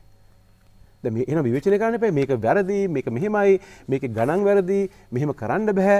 එතකොට අපි කියනකොට මේ towards uh, social market economy කියලා ඒ social market economy සමාජ වෙළඳපොළ ආර්ථිකය පිළිබඳ අපි දීලා තියෙන අර්ථ නිරූපණය අපි දීලා තියෙන අදහස අපි දීලා තියෙන සැලැස්ම අපි දීලා තියෙන මාර්ගසිතියම කිසිදු විවේචනයට ලක් වෙලා නැහැ. ඒ නිසා මම රටේ පුරවැසියන්ට කියන්නේ මේ රටේ කිසිම දේශපාලන පක්ෂයක් මේ ලේඛනය තියුණු ලෙස විවේචනය කරලා මේක ප්‍රතික්ෂේප කිරීමට තරම් හේතුවක් ඉදිරිපත් කළා නැහැ. ඒක තේරුම තමයි අපි ඉදිරිපත් කරලා තියෙන මේ ආර්ථිකය ගොඩනගන තාක්ෂණික ලියවිල්ල ඊටම නිවැරදි එකක්. එය ක්‍රියාත්මක කළ හැකි එකක්. එය මේ රටේ විද්වතුන් දහස් ගාණක් ඉදිරි අපි ඉදිරිපත් කරේ. ඒතකොට මේ තාක්ෂණික ලියවිල්ල විතරක් නෙමෙයි මේක ඉදිරිපත් කරලා මේක ක්‍රියාත්මක කරන්න පුළුවන් තරම් හොඳ කණ්ඩායමක් හොඳ ටීම් එකක් අපිට ඉන්නවා. ඒ ටීම් එකත් ලේඛනයත් සැලැස්මත් ඔක්කොම අපිට තියෙන හින්දා මේ ආර්ථිකය ගොඩනැගීමට හැකි මේ දේශපාලනයේ තරංකාරී තත්ත්වය තුළ ඉන්න ඉදිරිපත් වෙලා ඉන්න එකම කණ්ඩායම සජිත් ප්‍රේමදාස මැතිතුමාගේ නායකත්වයෙන් යුතු සමග ජන සන්ධානය පමණයි. ඒ නිසා අපි ඒ වෙනුවෙන් ඔබගේ ජන වරමක් ඉල්ලා සිටිනවා මොකද වෙන විකල්ප කණ්ඩායමක් අද ඉදිරිපත් වෙලා නැහැ. ඔබතුමා ප්‍රශ්න. එතන ප්‍රශ්න තියෙන දැන් මේ හැම පක්ෂයක්ම අපි දන්න මැනිෆෙස්ටෝ එකක් කොහොම එකයිනේ තියෙන්නේ.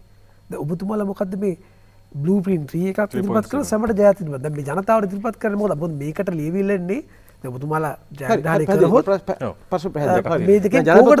හරි. මූලිකත්වය දාන්නේ? ජනාධිපතිතුමාත් ඇහුවා. ඉතින් ජනාධිපතිතුමා හිතන විදිහේ ඒක අපි හිතන්නේ තියෙන- පැත්තෙන් අපි නෑ, අහුවා. ජනතාව පැත්තෙන් හිතන හොඳයි ජනාධිපතිතුමා. නෑ, නෑ, ඒක- ඒක මම- සැමට ජයක් කියන- අහුවේ. සැමට ජයක් කියන ලේඛනයේ ආර්ථිකය පිළිබඳ සවිස්තර විස්තර අපි සඳහන් කරලා තියෙනවා. මෙහි කියලා තියෙනවා අපේ බ්ලූප්‍රින්ට් එකේ යාවත් කාලන කරන ලද ලේඛනය මත අපි තවදුරටත් කතා කරනවා කියලා. එතකොට මේ අ, සැමට ජයක් කියන හැම- හැමෝටම බෙදන හැමටම මේ රටේ පුරවැසියෝ මිලියන හතල මේ ගෙ- නිවාස මිලියන හතලියකට හතලිස් පහකට බෙදන මේ ප්‍රධාන ලේඛනයේ අපි ඒ තාක්ෂණික කාරණ සඳහන් කළ නැහැ මූලධර්ම පමණක් සඳහන් කළ කියනවා බ්ලූප්‍රින්ට් එකේ තමයි අපි වැඩ- අපේ තාක්ෂණික කාරණය කොහොමද කොහොමද කරන්න කියලා ඒ ආර්ථික විද්‍යානුකූල විවරණය කරන්න කියලා. ඊට පස්සේ අපි ඊට සතියකට පස්සේ ඒ අපේ තාක්ෂණික ලියවිල්ල ඉදිරිපත් කරා. එතකොට සාමාන්‍ය පුද්ගලයෙක්ට අවශ්‍ය නම් මේ අප- මේ සැමට ජයක් කියන මේ ලියවිල්ලේ තියෙන දේ ප්‍රමාණවත්. ආර්ථික විද්‍යාව හදාරණ කෙනෙක් හෝ ව්‍යාපාරයකෙක් හෝ මේ තීරණ ගැනීමේ ක්‍රියාවලිය තුළ ඉන්න කෙනෙක් ඉන්නවා නම් හෝ අපට ආධාර කරන විදේශීය සංව- සං- සංවිධාන අප සමග ගණදනු කරන විදේශී ආයතන ඉන්නවා නම් ඒ අයට අපේ සැලස් මොකක්ද කියලා පැහැදිලි කරන්න පුළුවන්. ඒ නිසා තමයි දැන් මේ බ්ලූප්‍රින්ට් එක ගැන සාමාන්‍යයෙන් මේවා ගැන බොහොම අ, සා- සාහිත්‍ය බො- බොහොම මේ තියුණු ලෙස විවේචනය කරන වික්‍රමසිංහ ජනාධිපතිවරයා පවා බ්ලූප්‍රින්ට් එකේ තියෙන අන්තර්ගතය ගැන විවේචනය කරේ නැහැ. ඔහුට තිබුණු ප්‍රශ්නේ තමයි ඔබට තියෙන ප්‍රශ්නය. ඇයි මේ දෙකක් කියලා? ඇතර මේ තියෙන්නේ ප- පළවෙනි එකේ දිගුවක් තමයි මේ තියෙන්නේ. දැන් ඔබතුමාලගේ මේ එතකොට- ඔබතුමා ඔබතුමා ටීම් එක ගැන ලොකු විශ්වාසයක් ඔබතුමාලගේ ටීම් එක පිළිබඳ තක්සේරුවක් එනවා. 2019 අන්තිමේදී රට බාර දෙනකොට හර්ෂද සිල්වා ඉරාන් වික්‍රමරත්න ඔක්කොම ඉන්නකොට පොදු ජන පෙරමුණ දිගටම විවේචනය කළේ ඇෆ්ගනිස්තානයටත් දෙවෙනි තැනකට ආර්ථිකය ගෙනත් තිබ්බා කියලා. ඒ ටීම් එකට මග පෙන්න පුරනිල් වික්‍රමසිංහගේ වැරද්දද නැත්නම් ඔබතුමාලගේ ටීම් එකේ වැරද්දද? නෑ, ප්‍රධාන ප්‍රශ්නයක් තිබුණාට දැන් අපි මේ ඉදිරිපත් කරන ආචාර්ය හර්ෂද සිල්වට කවදක්වත් මුදල් ඇමතිකම දුන්නේ නෑනේ. හරි? ඉරාන් වික්‍රමරත්නට කවදක්වත් මුදල් ඇමතිකම දුන්නේ නෑනේ. හැමදාම නියෝජ්‍ය රාජ්‍ය මට්ටමින් නැත්නම් නියෝජ්‍ය විදේශ ඇමති මට්ටමින් තියලා ඒ කියන්නේ මේ තීරණ ගැනීමේ ක්‍රියාවලිය තුලට ඒ කියන්නේ අත වශයෙන්ම මේ ලෝකයේම පිළිගන්න. ඒ කියන්නේ ලෝක බැංකුවේ උපදේශකෙක්නේ හර්ෂ. ඒතර ලෝක බැංකුවේ උපදේශකෙක් වෙච්ච ලංකාවේ බැංකුකරණය පිළිබඳ විශේෂඥයෙක් වෙච්ච හර්ෂද සිල්වට කවදක්වත් වික්‍රමසිංහ මහත්තයා කැබිනට ඇමතිකම දුන්නේ නැහැ. ඒ වගේම ඉරාන් වික්‍රමරත්න ලෝකේ ලොකුම බැංකුවකට සිටි බැංක් ඇමරිකාවේ එහි වයිස් ප්‍රෙසිඩන්ට් දෙවෙනිය ලංකාවේ ජාතික සංවිධාන බැංකුවේ ප්‍රධාන විධායක නිලධාරී ඉරාන්. කවදක්වත් මුදල් ඇමතිකම දුන්නේ නැහැ. අත්‍රශම මේ මෛත්‍රපාල සිරිසේන ජනාධිපතිවරයා අවස්ථා කීපයකදී මේ දෙන්නගෙන් කෙනෙකුට මුදල් ඇමතිකම දෙන්න කියලා කියද්දිත් ඒත් දුන්නේ නැහැ. එතකොට ඒ නිසා මොනවාරි හේතුවක් නිසා මම මෙතන ඒ ප්‍රශ්නේ අදගන්න උත්සාහ කරන්නේ ඒතකොට පෞද්ගලිකයි මේ කාරණා. එතකොට මේ ඉරාන් හර්ෂ දෙන්න ආර්ථිකය පිළිබඳ ලෝකේම පිළිගත්ත ඉහළම පෙළේ විද්වතුන් වෙලා තමන්ගේ මහා සම්පතක් විදිහට ජාතික ලැස්වේ මුලින් අරන් ඇවිල්ලා ඉන් පස්සේ ඔවුන් දෙන්න ජනවරමක් ලබාගෙන තේරීපත් වුණාට පස්සෙත් ඔවුන්ගේ දෙවෙනි වාරයේදීවත් මේ කැබිනට් ඇමතිකම් දුන්නේ නැහැ. ඉතින් ඒක වික්‍රමසිංහ මහත්මයාගේ හැටි. දැන් කැබිනට් ඇමතිකම් තිබුණ නැති ඒගොල්ල පක්ෂ වැඩක්නේ. ඔය ආර්ථික ඔස්තාත්ල තුන් දෙනා මහ බැංකු බැදුම් කර වංචාවේ හිටියේ ඒක වංචාවක් කියලාද රනිල් වික්‍රමසිංහ ආරක්ෂා කරන පැත්තේද? ඔවුන් සියලු දෙනාම මේක මෙතන වංචාවක් සිදු වුණු බව කිව්වා. කොයිද කිව්වේ? කෝප් එක නම් කිව්වේ නෑ. මම හිටියානේ. ඒ කෝප් එකේ අවසාන වාර්තාවේ කියනවා මෙතන වංචාවක් සිදු වුණා කියලා. හර්ෂ තමයි ඒක බේරන්න උත්සාහ කරපු නෑ නෑ ඒක වැරදි. ඒක වැරදි. කෝප් කමිටුවේ අවසාන වාර්තාවේ මාත් ඇතුළුව සියලු දෙනාම කියලා තියෙනවා වංචාවක් සිදු වුණා. මේකට මහෙන්ද්‍රන් වග කිය යුතුයි මේකට ඇලෝෂස් වග කිය යුතුයි මේ පිළිබඳව නීතියෙන් දඩුවම් කළ යුතුයි මේවා නැවත සිදුවීම් වැළැක්වීමට පියවර ගත යුතුයි කියලා මුළු මුළු කෝප් කමිටුවම අවසාන නිගමන වලට එකඟ වෙලා තියෙනවා. සුජීව සේනසිංහ මහත්තයා සුජීව සේනසිංහ මහත්තයා ඇතුළු. සුජීව සේනසිංහ පොතකොල් ලිව හරි සුජීව සේනසිංහ ඇතුළු. හරි එතකොට ඒ සියලු දෙනාම මේ බැඳුම් කරේ වංචාවක් බවත් ඒ වංචාව පිළිබඳව නීතිමය කටයුතු කළ යුතු බවත් නැවත මේ වැනි දේවල් සිදුවීම වැළැක්වීම සඳහා පියවර ගත යුතු බවත් වර්ධ කලායට එරෙහිව අපරාධ නීතිය අනුව කටයුතු කළ බවත් නිර්දේශවල සඳහන් කරලා තියෙනවා. ඊට පස්සේ ජනාධිපති කොමියන් සභාව පත් කරා ඊට පස්සේ ඒ ශ්‍රේෂ්ඨාධිකරණ දූරදරණ විනිශ්චයකාරවරුන්ගෙන් යුතුය. ඔවුන් කිව්වා මේ නිර්දේශවලට සියලුම සමාජයක එකඟ වෙලා තියෙනවා. ඒක ධනාත්මක ලක්ෂණයක්. ඒ නිසා මේ කිසිම ભેදයක් මෙතන ප්‍රශ්නයක් නැහැ කියලා ශ්‍රේෂ්ඨාධිකරණ දුරදරණ විනිශ්චයකාරවරුන්ගෙන් යුතු ශ්‍රේෂ්ඨාධිකරණ කොමියන් සභාවක් කිව්වා. පරීක්ෂණ කළ ඇදුනේ සම්බන්ධව මේ කහන් අයි මට තපර දැන් අපි කියමුකෝ දැන් 94න් මෙපිට මට ලංකාවේ දේශපාලනීය වැඩිපුර මතක චන්ද්‍රිකා මැතිණිය මුදල් ඇමතිකම එතුමිය සතුව තියාගත්තේ මහින්ද ජනාධිපතිතුමත් එහෙම කළේ රනි වික්‍රමසිංහ දෙදස් දෙකේදී අගමැති වෙච්ච වෙලාවේ චොක්සි මහත්තයට දුන්නා මට මතක විදිහට. ඊට පස්සේ මේ ආණ්ඩුවෙත් ඔහු මුදල් ඇමතිකම පළමු රවි කරුණානායකට දෙවනුව මංගල සමරවීරට දුන්නා. මංගල සමරවීර හොඳ තෝරා ගැනීමක් නෙවෙයිද මුදල් ඇමතිකම සම්බන්ධව. මං හිතනවා ඒ වෙලාවේ ඩොක්ටර් හර්ෂට හරි ඉරාන්ට හරි දී යුතු තිබුණා. මොකද ආර්ථිකය පිළිබඳව තිබුණු වඩාත් ප්‍රගතිශීලී ඒ වගේම ඔවුන් සතුව තිබුණු සුවිශේෂ අත්දැකීම් එක්ක ඒ වෙලාවේ කළ යුතුව තිබුණු සුදුසුම පියවර හර්ෂ හෝ ඉරාන්ව මුදල් ඇමතිවරයා වශයෙන් පත් කිරීම අත වශයෙන්ම මෛත්‍රීපාල සිරිසේන ජනාධිපතිවරයා අවස්ථා කිහිපයකදී ඒ බව වික්‍රමසිංහ මහත්මයාට කිව්වා. වික්‍රමසිංහ මහත්තයා ඒ දක්වපු හේතු මං කියන්න යන්නේ නැහැ. ඒක මේ වෙලාවේ එච්චර හොඳ නැහැ. ඒක ඒ උඟක් පෞද්ගලික සාකච්ඡාවල ආපු නිසා ඒ හේතු එකක්වත් සාධාරණ හේතු නෙමෙයි. ඒ මොකද මංගල සමරව ඇමතුමා හොඳ මිනිසෙක් දේවල් තේරෙන පුද්ගලයෙක් ඇත්ත වශයෙන්ම එතුමා උගතෙක් එතුමා වෙනත් ක්ෂේත්‍රයක උගතෙක්. නමුත් එතුමා මුල්්‍ය කාරණ පිළිබඳ උගතෙක් නෙමේ. ඉතින් ඊට වඩා තමන්ගේම හිතේශය වන මේකන මං දැන් ඉරාන් හර්ෂ වික්‍රමසික මහත්මයට පෞද්ගලීකව හිතවත් අය. එහෙම තීද්දිත්. මේ විශේෂේත්‍රයේ ලෝකය පිළිගත්ත ප්‍රවීණයක් දැ මේ අර්බෝධනට පස ආරධන කර හර්ෂ එන්න ඉරාන් එන්න කබීරන්න කියලා ආරධන කර. ඇයි ඒ වෙලාවේ කැබිනට ඇමතිකම දුන්නේ නැහැ. ඒ නිසා මේ ඒ පහුගිය ආණ්ඩුව තුල හිටියනේ ඒගොල්ලෝ කියන එකේ ලොකු තේරුමක් නැහැ. මොකද නියෝජ්‍ය ඇමතිවරයෙකුට තියෙන හැකියාවන් මොනවද කියලා මම දන්නවා. මම නියෝජ්‍ය ඇමතිවරයෙක්ව සිටින නිසා. මට ඊළඟට කියන්න ඕන කාරණා කීපයක් තියෙනවා. මේ මෙතුමා මම මූලික කාරණා කිව්වට පස්සේ මේ කාරණට ඔව්. ඔබතුමා කියන විදිහට දැන් ටීම් එකේ වැදගත්කමක් නැහැ නේ කියන විදිහට. ටීම එක වැදගත්. ඇයි දැන් දැන් රනිල් වික්‍රමසිංහ මහත්තයා එක්කත් ඉද්දි මේගොල්ලෝ ඔබේ ටීම් එකේ හිටපු අයනේ. නෑ දැන් සජිත් ප්‍රේමදාස මහත්තයා ජනාධිපතිතුමත් ওই ටීම් එක වැදගත් නෑ. හරි ප්‍රශ්නේ බොහොම ස්තුතියි. හරි ඒක ඔබතුමාගේ අදහස. දැන් මෙතන සඳහනක් කරා මේ මෙතුමල්ලගේ ප්‍රතිපත්ති ප්‍රකාශනයට පස්සේ අපි ප්‍රතිපත්ති ප්‍රකාශනය දවස් තුනකට පස්සේ ඉදිරිපත් කරේ. ඒ අතරතුර තමයි මේ බුදු සාසනය ආරක්ෂා කිරීමේ කාරණය ඇතුළත් කරලා තියෙන්නේ. ඒගොල්ලෝ නැති නිසා කියලා. මම හිතන්නේ ඒක ඒක තේරුමක් නැති තර්කයක්. එපමණක් නෙමෙයි අපි තව එකතු කරලා තියෙනවා. දහම් පාසල් පිරිවෙන් සහ ආගමික අධ්‍යාපනය ශක්තිමත් කිරීම සඳහා පූර්ණ රාජ්‍ය අනුග්‍රහ ලබා දෙනු ඇත. අන්තර් ආගමික අධ්‍යාපනයේ පාසල් විෂයමාලාවට ඇතුළත් කොට තමන් අදහන ආගමට අමතර අනෙක් ආගම් පිළිබඳ ප්‍රමාණවත් අවබෝධයක් ලබා ළමා පරපුරට ලබා දීම සඳහා පියවර ගන්න ඇත. කෘතිම බුද්ධිය artificial intelligence මානුෂවවාදීව හා සදාචාරාත්මක වැඩිදියුණු කිරීමේලා බෞද්ධ දර්ශනයෙන් හා අනිකුත් ආගමික දර්ශනයන්ගෙන් ලබාගත හැකි ආදර්ශ සම්බන්ධ පර්යේෂණ පිණිස රාජ්‍ය අනුග්‍රහය ලබා දෙනු ඇත. එතකොට මේක බොහොම පුළුල්. ඒ කියන්නේ මේ මේ බුදුදහම රාජ්‍ය සහ පුරවැසි අතර තියෙන සබඳතාවය පිළිබඳ රාජ්‍ය අනුග්‍රහය ගැන රාජ්‍ය අනිකුත් ආගම් කෙරෙහි දක්වන ආකල්පය ගැන අන්තර් ආගමික අධ්‍යයනය ගැන පුළුල් ආගමික හා සංස්කෘති කටයුතු කළ වෙනම ශීර්ෂයක් ඇතේ මේ කරුණු ඉදිරිපත් කළ තියෙනවා. මේ එතුමාලාගේ අඩුපාඩුව දැනගෙන අපි දැම්මා කියන කතන්දරය කිසිසේත්ම අදාළ නැහැ. මම පෞද්ගලික දන්න මම මේ ප්‍රතිපත්ති ප්‍රකාශනය ලියපු කමිටුවේ ප්‍රධාන සමාජිකයෙක් නිසා. ඇත්ත වශයෙන්ම ප්‍රමාද වෙන්න හේතුව සමෘද්ධි මේ ව්‍යාපාරය සමග කරවුණු සාකච්ඡා අවසාන වූ නිසා අපිට යම් මේ ගැටලුවක් ඇති වුණා සමුදු ව්‍යාපාරය පිළිබඳ වගන්ති ඇතුළත් කරගන්න මුද්‍රණයට කලින් ඒ නිසායි මේ දින කිහිපයක් ප්‍රමාද වුණේ. වෙන කිසිම ප්‍රමාද වෙන්න අපිට හේතුවක් තිබුණේ නැහැ. ඊළඟ අනෙක් කාරණේ තමයි මම දැන් මෙතන අදහස් කීපයක්ම අපේ හිතවත් මන්ත්‍රීතුමන්ලාගෙන් සංජීව ඉදිරිපත් කරා. ඒ ඒ තමයි මේ ආගම පිළිබඳ කාරණය දැන් මම දැන් මගේ මිත්‍රයා නලින්ද කියනවා කාල්මාක්ස් එයාගේ ඉවර නොකරපු පොත ලිව්වා නං අර මුලින් කියපු ආගම අබින් නැත්තං ආගම රාජ්‍යත් එක ගැටගහගන්න එපා කියන මාක්ස්වාදී අදහස වෙනුවට වෙනත් එකක් ලියන තිබුණ කිය.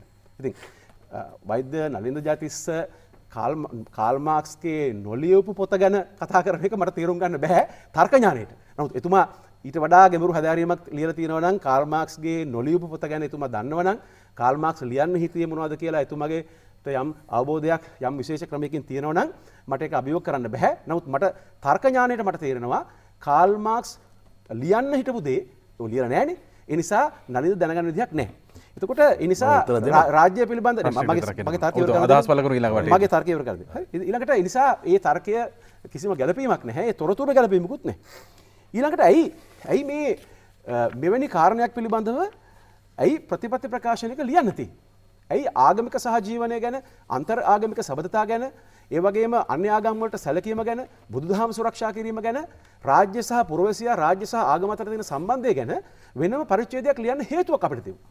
ඒ තමයි මේ කාරණය පිළිබඳ ගැඹුරු සාකච්ඡාවකින් පස්සේ මේ ආගමික සහජීවනය ඒ වගේම බුදුදහමට තියෙන ප්‍රමුඛතාවම රජ කාලේ ඉඳලා බුදුදහම පෝෂණය රජුරුව කළා.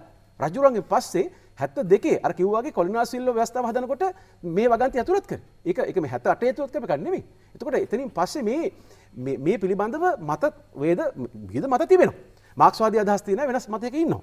දැන් මේකට තව විශේෂ කාරණයක් තියෙනවා මේ ඒ තමයි කොලිනාසිල්ල මාක්ස්වාදීන් ඒක සම්බන්ධයක් නැද්ද? නෑ කොලිනාද සිල්වා හදපු හදපු ව්‍යවස්ථාව ඔහු කෙටුම්පත් කරේ මූලික ඔහු තමයි කෙටුම්පත් කමිටුවේ මූලිකයා.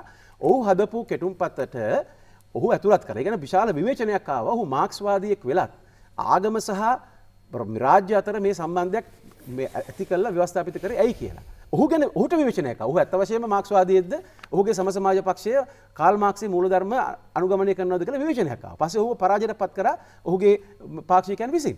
එතකොට දැන් කොලින් කොල්ලින් මේ කොල්නා සිල්ල මැත්තුමා ඔහු විශ්වාස කරන දේසා පසුව පාර්ලිමිතු අනුමත කරපු දේ අනුව ඔහු මේක ඇතුළත් කර මං හිතන ඇතුළත් කිරීම හරි කියලා. දැන් ඊළඟට ප්‍රශ්න තමයි ආවේ අපේ හරිනි අමර සූරිය මහත්මිය මම මෙනවිය මම මේ කතාව මම දැන් සමා වෙන්න මම හරි අමර සූරිය මහත්මිය මේ ඒ කියන එතුමිය සමාජික කළා හිටියා ආණ්ඩු ක්‍රම ව්‍යවස්ථා ප්‍රසංස්කරණය පිළිබඳ මහජන අදහස් විමසීමේ කමිටු වාර්තාව. ඒ කමිටුවේ සමාජිකාවක් එතුමිය. එතුමිය කමිටුවේ ඒ සමාජිකයෙක් පමණක් නෙමෙයි එතුමිය අංක නමේ වශයෙන් අත්සන් කල්ලත් තියෙන ඔබතුමට සැකයක් තියෙනවන මේ හරිනි අත්සන හරි. ගොල පත්කර කමිටුවක් ඕක මේගොල පත් හරි කමිටුවක් තමයි. හරි. එතකට ඒ කමිටුවේ දැන් ඒ කමිටුවේ සමාජකයන් අතරින් අද මෙරටේ දේශපාලන ඉන්න ඒවගේම මෙතුමල්ලගේ රචයක ඉහල දුරයක් කොට හරිනේ මොන පක්ෂද ඒ ආහරින මොකක් අපේ පක්ෂවක් අපේ පක්ෂණ හිටිය න එතකොට පක්ෂ එතකොට හරිනි හරිනි කිය හරිනම සූර අද බොහම බොහම ප්‍රබුද්ධ චරිතයක්ට ඔබතුමාලගේ පක්ෂේ ඊළඟට අගමති නාමයට යෝජන වෙලා තියෙන කියලා අපිට ආරංචිලා තියෙනවා එතුමිය. එතකොට එතුමිය මොකක්ද යෝජනා කරන්නේ? නිර්දේශවල?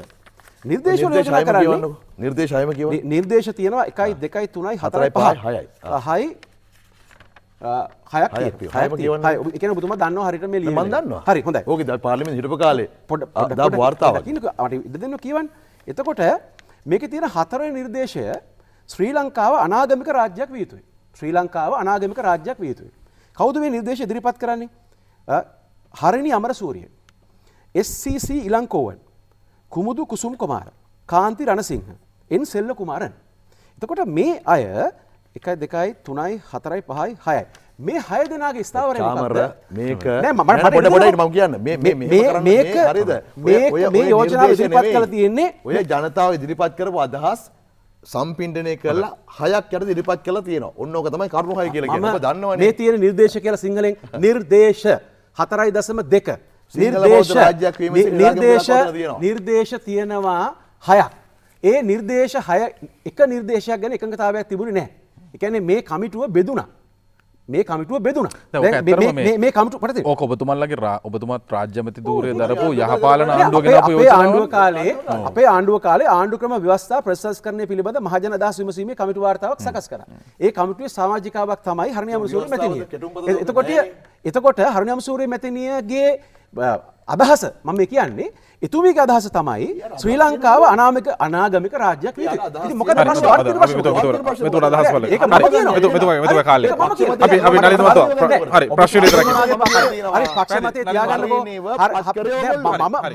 නෑ, හරි, කියන්නේ බුදු ගැන හරි. හරි. මම කියන්නේ හරින ගැන හරින්ට කියලා ඇවිල්ලා කියන්න පුළුවන්. නෑ මං ඔහොම දෙයක් කිව්වේ නෑ. හරි. හරි. දැන් මගේ අදහස හරි. හරි. හරි. එතකොට හරින වෙනුවෙන් උත්තර දෙන්න. හාමුදුරන්ගේ උත්තර දෙන්න දෙයක් නෑනේ මොකද මේ මේ දැන් මේ මේ ලේඛනේ පහේංගල හඳුනන්නේ හරි? මේ පහේ පහේංගල හඳුනන්නේ මේ ලේඛනේ මොකද කතා කරන්නේ? හරි එතකොට ශ්‍රී ලංකාව අනාගමික රාජ්‍යයක් විය යුතුයි කියන නිර්දේශය ඉදිරිපත් කරලා තියෙන්නේ ආචාර්ය හරිනියම සූරිය SCC ඉලංකෝවන් කුමුදු කුසුම්කාර කාන්ති රණසිංහ සහ එන් සිල්ල කුමාර. එතකොට දැන් මේ මෙතුමල්ලගේ දේශපාලන ව්‍යාපාරය තුළ ඉතාම ප්‍රබල මං හිතන්නේ ආ, මේ ජනාධිපති අපේක්ෂකතුමාට හැරුණාම ඊළඟට ඉහළින්ම ඉන්න චරිතය තමයි එතුමිය. ඒක අපි කරන්න ඕනේ දේශපාලන ව්‍යාපාරයක රටේ ප්‍රධාන දේශපාලන ව්‍යාපාරයක ඉහළින්ම ඉන්න කෙනෙක්. එතකොට එතුමියගේ එතුමියගේ එතුමියගේ ඉතිහාසයේ මතය මොකක්ද? එතුමියගේ තිබෙන යම් වැදගත් කාරණා පිළිබඳ එතුමිය දරන අදහස කුමක්ද කියන කාරණය ගැන සංවේදීකමක් රටට තියෙන්න පුළුවන් අපිට තියෙන්න පුළුවන්. පක්ෂ මතයක් එත- එතකොට. එතකොට හරි. එතකොට දැන්. පක්ෂ මතය ලියන්න තිබ්බනේ. හරි එතකොට පක්ෂ මතය. පක්ෂ මතය ලියනවා නම් මෙන්න තිය ලියන්න තැන. පොහොසත් රටක් ලක්ෂණ ජීවිතයක් කියන ඔබතුමාලගේ පිටු 200 ගාණක් තියෙන මේ මේක හොඳටම ඉඩ තිබ්බ මේක ලියන්න. හරි එතකොට දැන් මොනතරම් දේවල් මේක ලියලා තියෙනවා. එතකොට දැන් පොහොසත් රටක් ලස්සන ජීවිතයක් කියන එකේ ආගමික සහජීවනය ගැන හරි බුදුදහමට සුරක්ෂිත කිරීම හරි ඒ වගේම අන්තරාගමික සබඳතා හරි වචනයක්වත් දකින්නේ මේ මොන දේශපාලනද මාක්ස්වාදී මාක්ස්වාදී? දේශපාලන විවරණයක් තියෙන්නේ. මොන දේශපාලනද මේක? ඒ මාක්ස්වාදී විවරණය. මාක්ස්වාදී. විවරණය ආරක්ෂා කරනවා හරි, මහත්තයා, ඔබතුමා කාලේ. හරි, ප්‍රශ්න. විතරක් කියමු. හොඳයි. හරි එතකොට හරි, නලින් මහත්තයා, ප්‍රශ්න විතරක් එතුමා කාලේ. අපේ හරි. ප්‍රතිපත්ති ප්‍රකාශය තුළ අපි පැහැදිලිව කියලා තියෙනවා බුදුදහම. සුරක්ෂා කරනවා අන්තරාගමික සහගතාව හදනවා. ඒ වගේම දහම් පාසල් සහ ආගමික අධ්‍යාපනයේ රාජ්‍ය ස- සහයෝගය ලබා දෙනවා. ඒ විතරක් නෙමේ කෘතිම බුද්ධිය ඇසුරෙන් මේ බුද්ධාම සහ අනිකුත් ආගම්වල තියෙන හරයන් පිළිබඳව අපි අලුත් අධ්‍යයනයකට යොමු වෙනවා රාජ්‍ය අනුග්‍රහය යටතේ. එතකොට ඒ- පිළිබඳ. එතකොට ඒ 13 ඒ පූර්ව ඒ- බලාත්කාර ඒ- ඒ කරනවා. කාරණා පිළිබඳව තියෙන වැදගත්. මූලධර්මයන් පස්සක තාලා හරි දැන් ප්‍රශ්නයක් තියෙන හින්දා අපි මේක කියන්නේ. 13 අනතුරක් එතකොට-. මේ- මේ- මේ- මේ රටේ අනාගතය 14 පිළිබඳව. තියෙන ප්‍රධානම ප්‍රශ්නයක් හැටියට මේ ආගමික සහයෝගීතාවය සහ මේ රටේ සංස්කෘතිය පිළිබඳ තියෙන කාරණා නොතකා කටයුතු කිරීම බරපතල අනතුරක්. ප්‍රශ්නයක්. හරි. ඒක විශාල ප්‍රශ්නයක්. හරි, අපි- අපි- අපි- අපි- කාලේ. හරි, මෙතුමා අවසන් කළා. නොකිරීම පිළිබඳ ප්‍රශ්නේ. ඔබතුමාට බාධා කිරීමෙන් පේනවා. හරි, නලින්- නලින් මතුවා, ඔබතුමා නලින් බාධා. කිරීමෙන් පේන. රටේ ප්‍රශ්නයක් වෙලා. නෑ, ඔබ- මොකද්ද හරි, හරි. මොකද්ද බොරුව?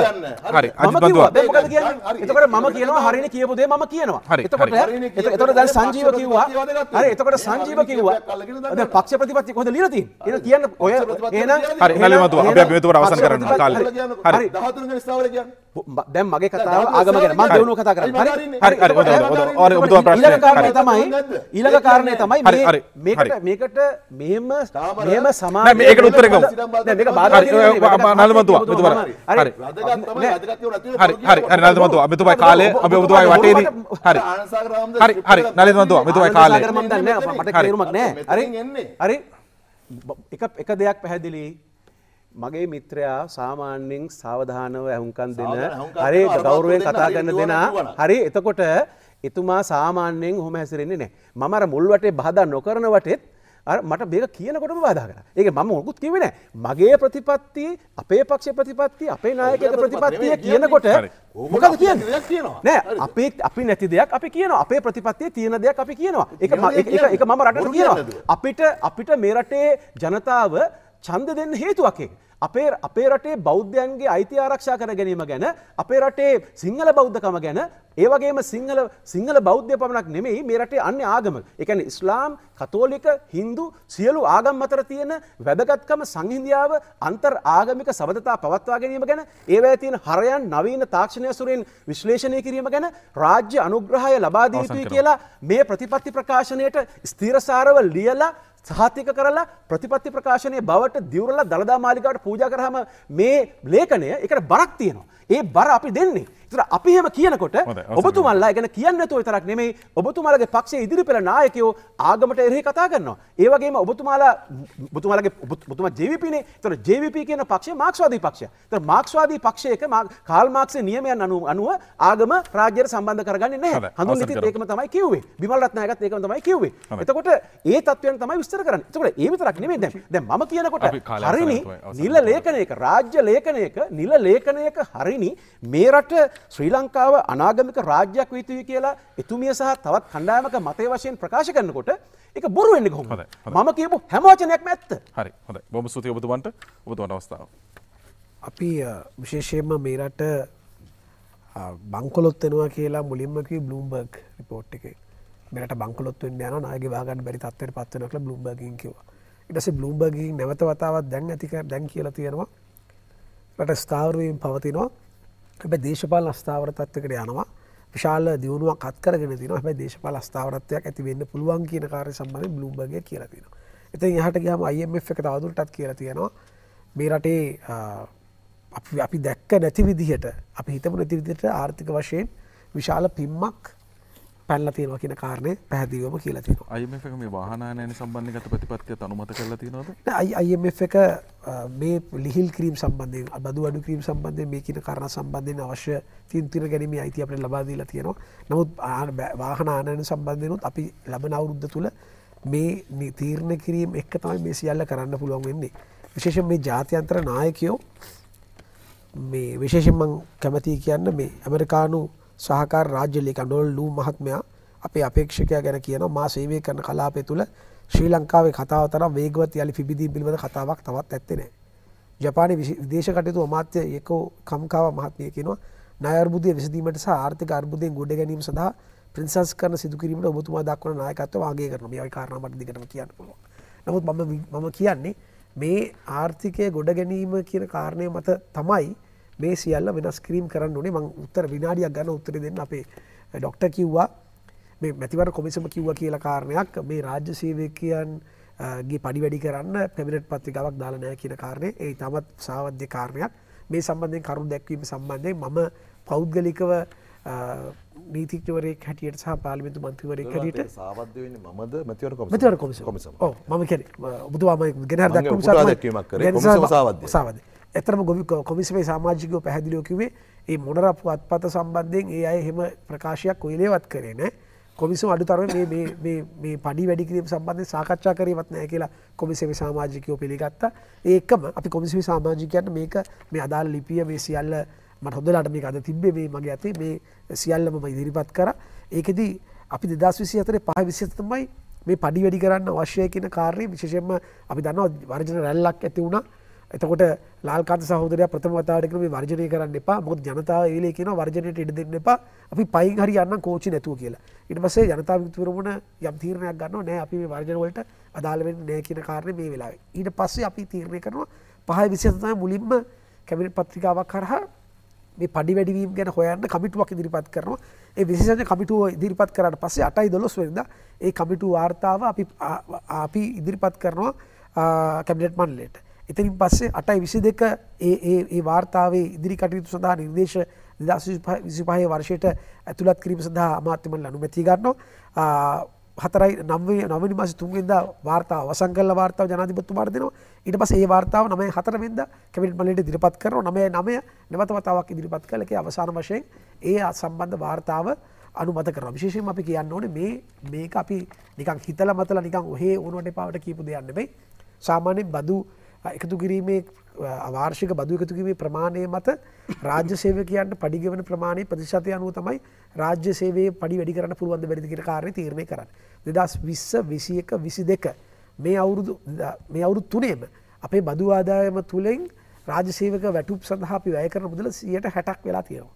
හැබැයි විසි තුන සහ විසි හතර මේ විසිතුනේ තිසියට තිහක් වෙනවා විසි හතරේ මේ කාර්තු වෙනකොට විසි හත් විසි තුනක් බවට පත්වෙනවා. ඒ කිර තීරණ මත තමයි ඒ සොයාගැනීම මත තමයි මේ පඩි වැඩි කිරීම ඕජනා කරලා තියන්නේ. මම එතනින් ඒගෙන කතා කරන්න ඉන් අනතුරුව. විශේෂම අපිට දිගින් දිගට මේ මන් දන්න මට තින මට පුංචි වේශනයක් තියෙනවා. මත තුමායකට උත්තරත් දුන්න. අපිට ගැටලුවත්තින ජනතාවට දැන්. අපි මතු කර දැන් ඇයි එක් ඇයි සජ්‍යපය තුළ මේ වාර්තා දෙකක් දක්වන්න කියන කාරය මොකද වඩා ප්‍රමුඛ මොකක්ද කියන කාරණය මොකද ජනතාවට ඉදිරිපත් කර ලියවිල්ලක් තුළ ජනතාව පිහිටා හිටින්දේ ඒ ප්‍රතිපත්තිවය කාරණා තුළ කෙසේදත් ඒ කාරණාව ගැනතුම පැහැදිලි කර. ඒකම අපි දීරකෝම රනවිකසමැත්තුමා දෙයක් යහපාල ආණ්ඩු වෙලා ප්‍රතිපත්ති ප්‍රකාශ හතරක් විතර දැම්මලියට සංජීව මෙන්න මේ කාරණය අපි තේරුම් ගන්න පැ විශේෂයෙන් මම කියන්න ඕන මේ වෙලාවේ අපි අපි මේ අලුතෙන් දව ප්‍රතිපති ප්‍රකාශයන් නෙමේ. අපි තමයි ඔබතුමාල අපි සියලුදන පොහොට්ටු අපි ඔක්කොම එකතු වෙලා අද දැම් පාර්ශව දෙකට අපි වෙලා තින හරි එක දේශපාල ඔබතුමාලා දේශපාලික තීන්දුවක් කරගත්තා. අපි අපි විශ්වාස කර අපි රට වෙනුවෙන් තීන්දුවක් ගත්ත කියලා. කොහොම වනත් දැම් මේ තීන්දුව හරහා මේ ඉදිරිපත් කිරීමේ කාරණයක අපි එකනෙකාට ඇගිල දික් කරල චෝදනා කරන්න පුළුවන්.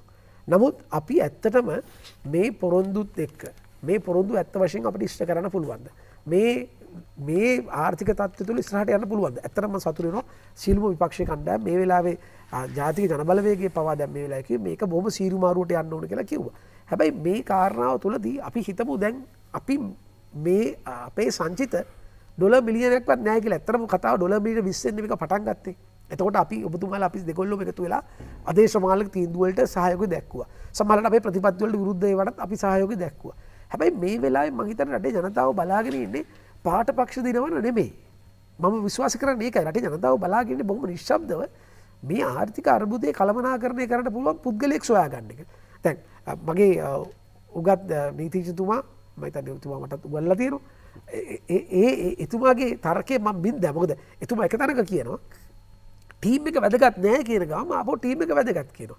දැන් සජිත් ප්‍රේමදාස මහත්තයා මේ රටේ ජනාධිපති වුණොත් ඒ ටීම් එක හැටියට එන්නේ එරානුයි හර්ෂය ටීම් එක තමයි. අපේ අපේ අපේ ආර්ථික කඩල බිල්ලාම නාල ගොඩහෙවත් ඔබතුමාලගේ දැන් කණ්ඩායම නෑ තුමා එතුම ප්‍රධාන භූමිකාවක් ආර්ථික කණ්ඩායම නෑ. මම පැහැදිලි කරන්න ඕනේ. මම ඇත්තටම අහන්න කැමති නෑ බුදුවා ප්‍රශ්නයක් අපි ඔබතුමා මතු කරපු නිසා. ඊළඟට ඔබතුමා වටේ පැහැදිලි ප්‍රශ්න විතරක් කියමු හොඳයි හරි. ඉති එතකොට දැ මම ඇතරම බුදුමයි ප්‍රශ්ය හඳුව තුමක කාලි වෙරයි කියලා. එතකොට ද මම කෙද ඔය අය කණ්ඩායම ඉන්නේ. හරි දැන් පැල්ලිකමසි මහත්‍යත්තකත් හිටියත් වෙලාවෙත් ඒගොල්ලෝ ඒත් කණ්ඩායම හිටිය. එනිසා ඔය කණ්ඩායම තෝරනවා කියන කාරණය මේ වෙලාවේ සුදුසු දෙයක් නෙමේ මම එක දෙයක් දකිනවා. මම හොඳ හෝ නරග රල්ලික්‍රමසික පැත්තුමා අවුරදු විසිනමතාව පරාජය වුණේ ඔය කියන කණ්ඩායම කට්ටියත්ත කිතර තමයි. හැබැයි අපි කොල්ලොකතු වෙලා තමයි රල්ලික්‍රමසික පත්තුම ඇත්තර වැඩකාරයක් කියලා පෙන්නු කරන්න පුළුවන්ගුණේ මම හිතන්න මම පක්ෂ පරාජපත් කරන පක්ෂ පක්ෂවලට පක්ෂවලට හරි. අපි පක්ෂේ අපි අපි අපි ජනතාවක තීරණය කරයි පරාජය වනද නැද්ද කියලා. හැබ මම කියන මේ වැඩි මතවාද දිරිපත් කිරීම සුදුසු නෑ. මේ වෙලාවේ අපේක්ෂයෝ තිස්සටක් ඉන්නවා. ඒ තුළ මේ කණ්ඩායම් පත් කරගන්නවද කණ්ඩායම් හොඳ කියන කාරණය එන්න ඉදිරිපත්වන ඊළඟ මැතිවරණය මහමතිවරණය ඇතුළ තෝරග තෝරගන්න ඕනේ. කණ්ඩායම හොඳද? මොන වගේ ඇදින්නේ? චෝදනාලත්තා ඉන්නවද? එක පසුවට තින කාරණ හැබැයි ලෝක ප්‍රජාව අගේ කරන ලෝක ප්‍රජාවත් එක ගණදුරු කරන්න පුළුව ලෝක ප්‍රජාවත් එක්ක අන්තර් සහහි කටතු කරන පුල නායකෙක්තම අපි දිරිපත් කරලා තියෙන අනිත් කාරය තමයි මේ ප්‍රතිපති ප්‍රකාශවල දිගින්දිකට දැන් ඔබතුමාලගේ සැබට ජයක් ප්‍රතිපත්ති ප්‍රකාශය පලවන පලවන හඳුන්වාදීමේ තියෙන කාරණ සියල්ලම මං අර මුලින්ම මගේ පූර්විකාව තුළම අඳුල්ල දීපු. විනිවිධභාවය සහ වගවීම. නය අර්බුද කළමනා කරණය සහ ජාත්‍යන්ත්‍ර මුල්ල අරමුදල. මුල්ල විනිමේ අනුපාත ප්‍රතිපත්තිය.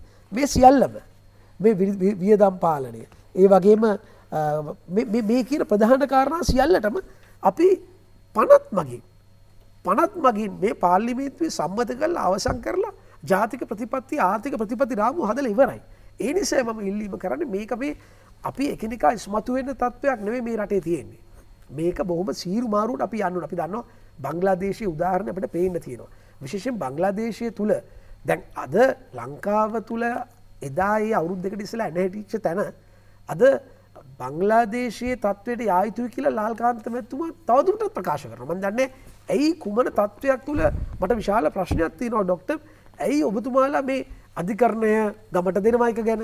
ඒ වගේම මේ පාල්ලිමේන්තු අත්පත් කර ගැනීමේ කාරණය සම්බන්ධයෙන් අපි අරගලය ශාක්ෂාත් උන්නෑ අරගලේ කාරණා මුදුම්පත් උන්නෑ කියන කාරණා සම්බන්ධයෙන් ඔබතුමලා ප්‍රජාතන්ත්‍රවාදී විහුවය අනුමත කරන පක්ෂයක් තුළ විශේෂම ජනතාවට අපි ඔබතුමාලා ප්‍රසිද්ධිය සමාගත්තන පහුගේ කාල ප්‍රජාතන්ත්‍රවාදී ආණ්ඩුවකට විරුද්ධව ආයුධ ගැනීම සම්බන්ධය හැබ එහෙම තත්ත්වයක් තුළ තවමත් ඔබතුමාලාගේ ප්‍රධාන නායකයෝ මෙවැනි ප්‍රකාශ කිරීම ප්‍රජාතන්ත්‍රවාදයට සුදුසු නෑ. මම හන්නේ ඒකන් දැන් ඔබතුමාලට අවශ්‍ය වෙන්නේ හොරු අල්ලනවා කියන කාරණය තුළ රාජපක්ෂවරු නඩුවහන් නැතුව දංගෙඩට කැඳවා ගැනීමද? එහෙම නැත්තම් මේ හිටවු පාලකයෝ නඩුහන් නැතු ඔබලාගේ ක්‍රමවේදයක් තුළ දැන් යම් දැන් ප්‍රසිද්ධ දේශපාල විරුද්ධ දේශපාල මතදරන්නේ කිව්හම ඔබතුමාලගේ නවන පරිච්චිත සම්බන්ධයෙන් ඇතුළත් වෙලා නෑ කියලා. ඔබතුමාලගේ පක්ෂණයක කියන අපි පෙරහැරේ ඒ අයවගෙන අධිකරණයට කියලා. මංගනි ඒක ඒතින පැසිස්වාදී නිකං නිකං ඒක මහ බලපෑමක් කරනවාගේ නෙවේ ඒක එක චන් ඒ ප්‍රතිවාදී දේශපාලන කඳවුරට කරන බියගැන්වීමක් නෙමති කියෙන ප්‍රශ්නය අපි හමු තින මොකද අර අරවාගේ ප්‍රකාශත් එක් ගැන අධිකරණය ගමට යාම සහ මේ පාර්ලිමේන්තු අත්පත් කර ගැනීම වගේ කාරණයක බැලුවම්. එනිසා මම ඉල්ලීමක් කරන්නේ මේ වෙලාවේ අපි රටක් හැටියට එකිනෙක පක්ෂත් එක්ක බෙදිල වැඟුණට වඩා ම විශේෂෙන්ම මං එකයි මේ වෙලා අපි මේ රටේ ආර්ථිකය ශක්තිමත් කරන්න. ආර්ථිකය ශක්තිමත් කරගත්ත නැත්තම් ලෝක ප්‍රජාවසා සීලුම් දෙනා කියනවා අපේ රටේ ආර්ථිකය බොහොම සීරුමාරුවට තමයි ගමන් කරමින් යන්නේ. ඒ සඳහා අඩුවැඩි වශයෙන් ඒ විපක්ෂ වලින් යෝජනා ක්‍රමවේද ඉදිරිපත් කරලා තියෙනවා.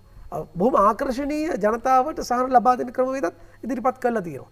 හැබැයි මේවා සාධනය ලෙස ප්‍රායෝගිකව ඉෂ්ට කරලා තියෙන්නේ අපේ අපි ඉදිරිපත් කරන රනිල් වික්‍රමසිංහ වැඩ පිළිවෙල විතරයි. මේක කවුරක්වත් හිතන්න එපා රනිල් දැ වාමාංශික චන්දාරම් වාමාංශික කැල්මිටියාවතේ බෙල්ටකින් ආපු ප්‍රේමනාත්දොලවත්ත මේ රනිල් වික්‍රමසිංහට කඩ යනවා කියලා හිතන්න එපා. ප්‍රතිපත්ති දැන් රනිල් වික්‍රමසිංහ ඉදිරිපත් කරනවා. මේක හුදෙක් රනිල් වික්‍රමසිංහ මැතිතුමා ඔප්පරංගනවනේ මේ මේක සම්පූර්ණයෙන්ම මේ ආර්ථික ගොඩනා ගන්න ඒ වැම් වැඩ පිළිවෙල පුද්ගලික වැඩ පිළිවක් නංවන්න තමයි මේ අවශ්‍ය මැදිහත්වීම කර ඊළඟ ටීම් එකක් ගැන බුතුව කතා කරන ඊළඟ ටීම් එක තෝරගන්න ඕන මහමැතිවරණය කියලා. එතකොට ටීම් එකක් එකතු වෙලා කරන්න ඕන යෝජනත් මේ ජනාධිපතිවරණය ඇතුළට රිංග ගන්න යයි ජනාධිපතිතුමා? නෑ අපේ ජනාධිපති අපේක්ෂකගේ ටීම්යක් ගැන කතා කරන්න මං ඊළඟ මහමැතිවරණය කියන තීරණය කරන ඕනේ. අප්‍රේල්වල පෙබරවාරිවලදී වාහනායනය කරනවද නැද්ද කියන එක? නෑ පැහැදිලි ඔමෙහෙමනේ ඔබ තේරුම් ගන්න එපා මේ ටීම් එක කියලා කියන්නේ අපේ විවස්සදායක තේරුවා ගැනීම ටීම් එකනේ. අපි විවස්ථාදායක ගැටලුවක් තියෙනවා. අපි සාම සාකච්ඡාව තුළ සංවරණ තුල්ල ක්‍රමයට ඇති අපි විවස්සදායකයේ මන්ත්‍රීවරුම තමයි විදායක නියෝජනය කර එක විවේචනය කළ ඔබතුමාලගේ තීරණය. එතකොට නෙමයි මේ කියන කාරණයක ගත්තහම සමහර කාරණ අපිට අපිට තිබ ප්‍රධානම චෝදනාතාව විපක්ෂයකිවේ එක කියන්දේම කරනවා කිය තවට අපි සාමානය එක විවේශනයක වෙන අවස්ථාව තියෙන පුළුවන්. අපට IMF එක රබර මුද්‍රාවක් එන්න ඕන්න හැබයි IMF එකත් එක් අපි යනව කියන කාරණය පැහැදිලිව මුලින්ම ප්‍රකාශ කරපු නායකය තම අපේ නායකය සහ අපේ වැඩ පිළිවෙල එතකොට ඒ වැඩ පිළිවෙත්ත අපි යනවා. ඔබහපු කාරණය සම්බන්ධක තම හොඳ ටීම් එකක් කියන ස්ලෝගන් එක ගෙනියන්න අපි නෙමෙන්නේ හොඳ ටීම් එක කියන ස්ලෝගන්න ගෙනියන්නේ ප්‍රධාන විපක්ෂය.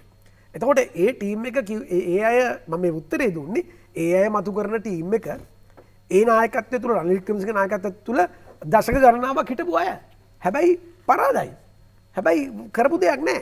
හැබැයි අපි අපි දශගානක් වේශනය කර නායකඇත්ත කම වැඩ කරලා. ීම එක ලීඩ ඔබතුමාගේ නායකයන්නේ ටීම එක ලීඩ එක එහෙතම ගන්න මේක මේ දුත්ත සභහයක් ගන්නවා කියන එකන. එක වෙලාගෙන ටීම එක ලීඩ තින ටීම ලීඩ තේ හොවර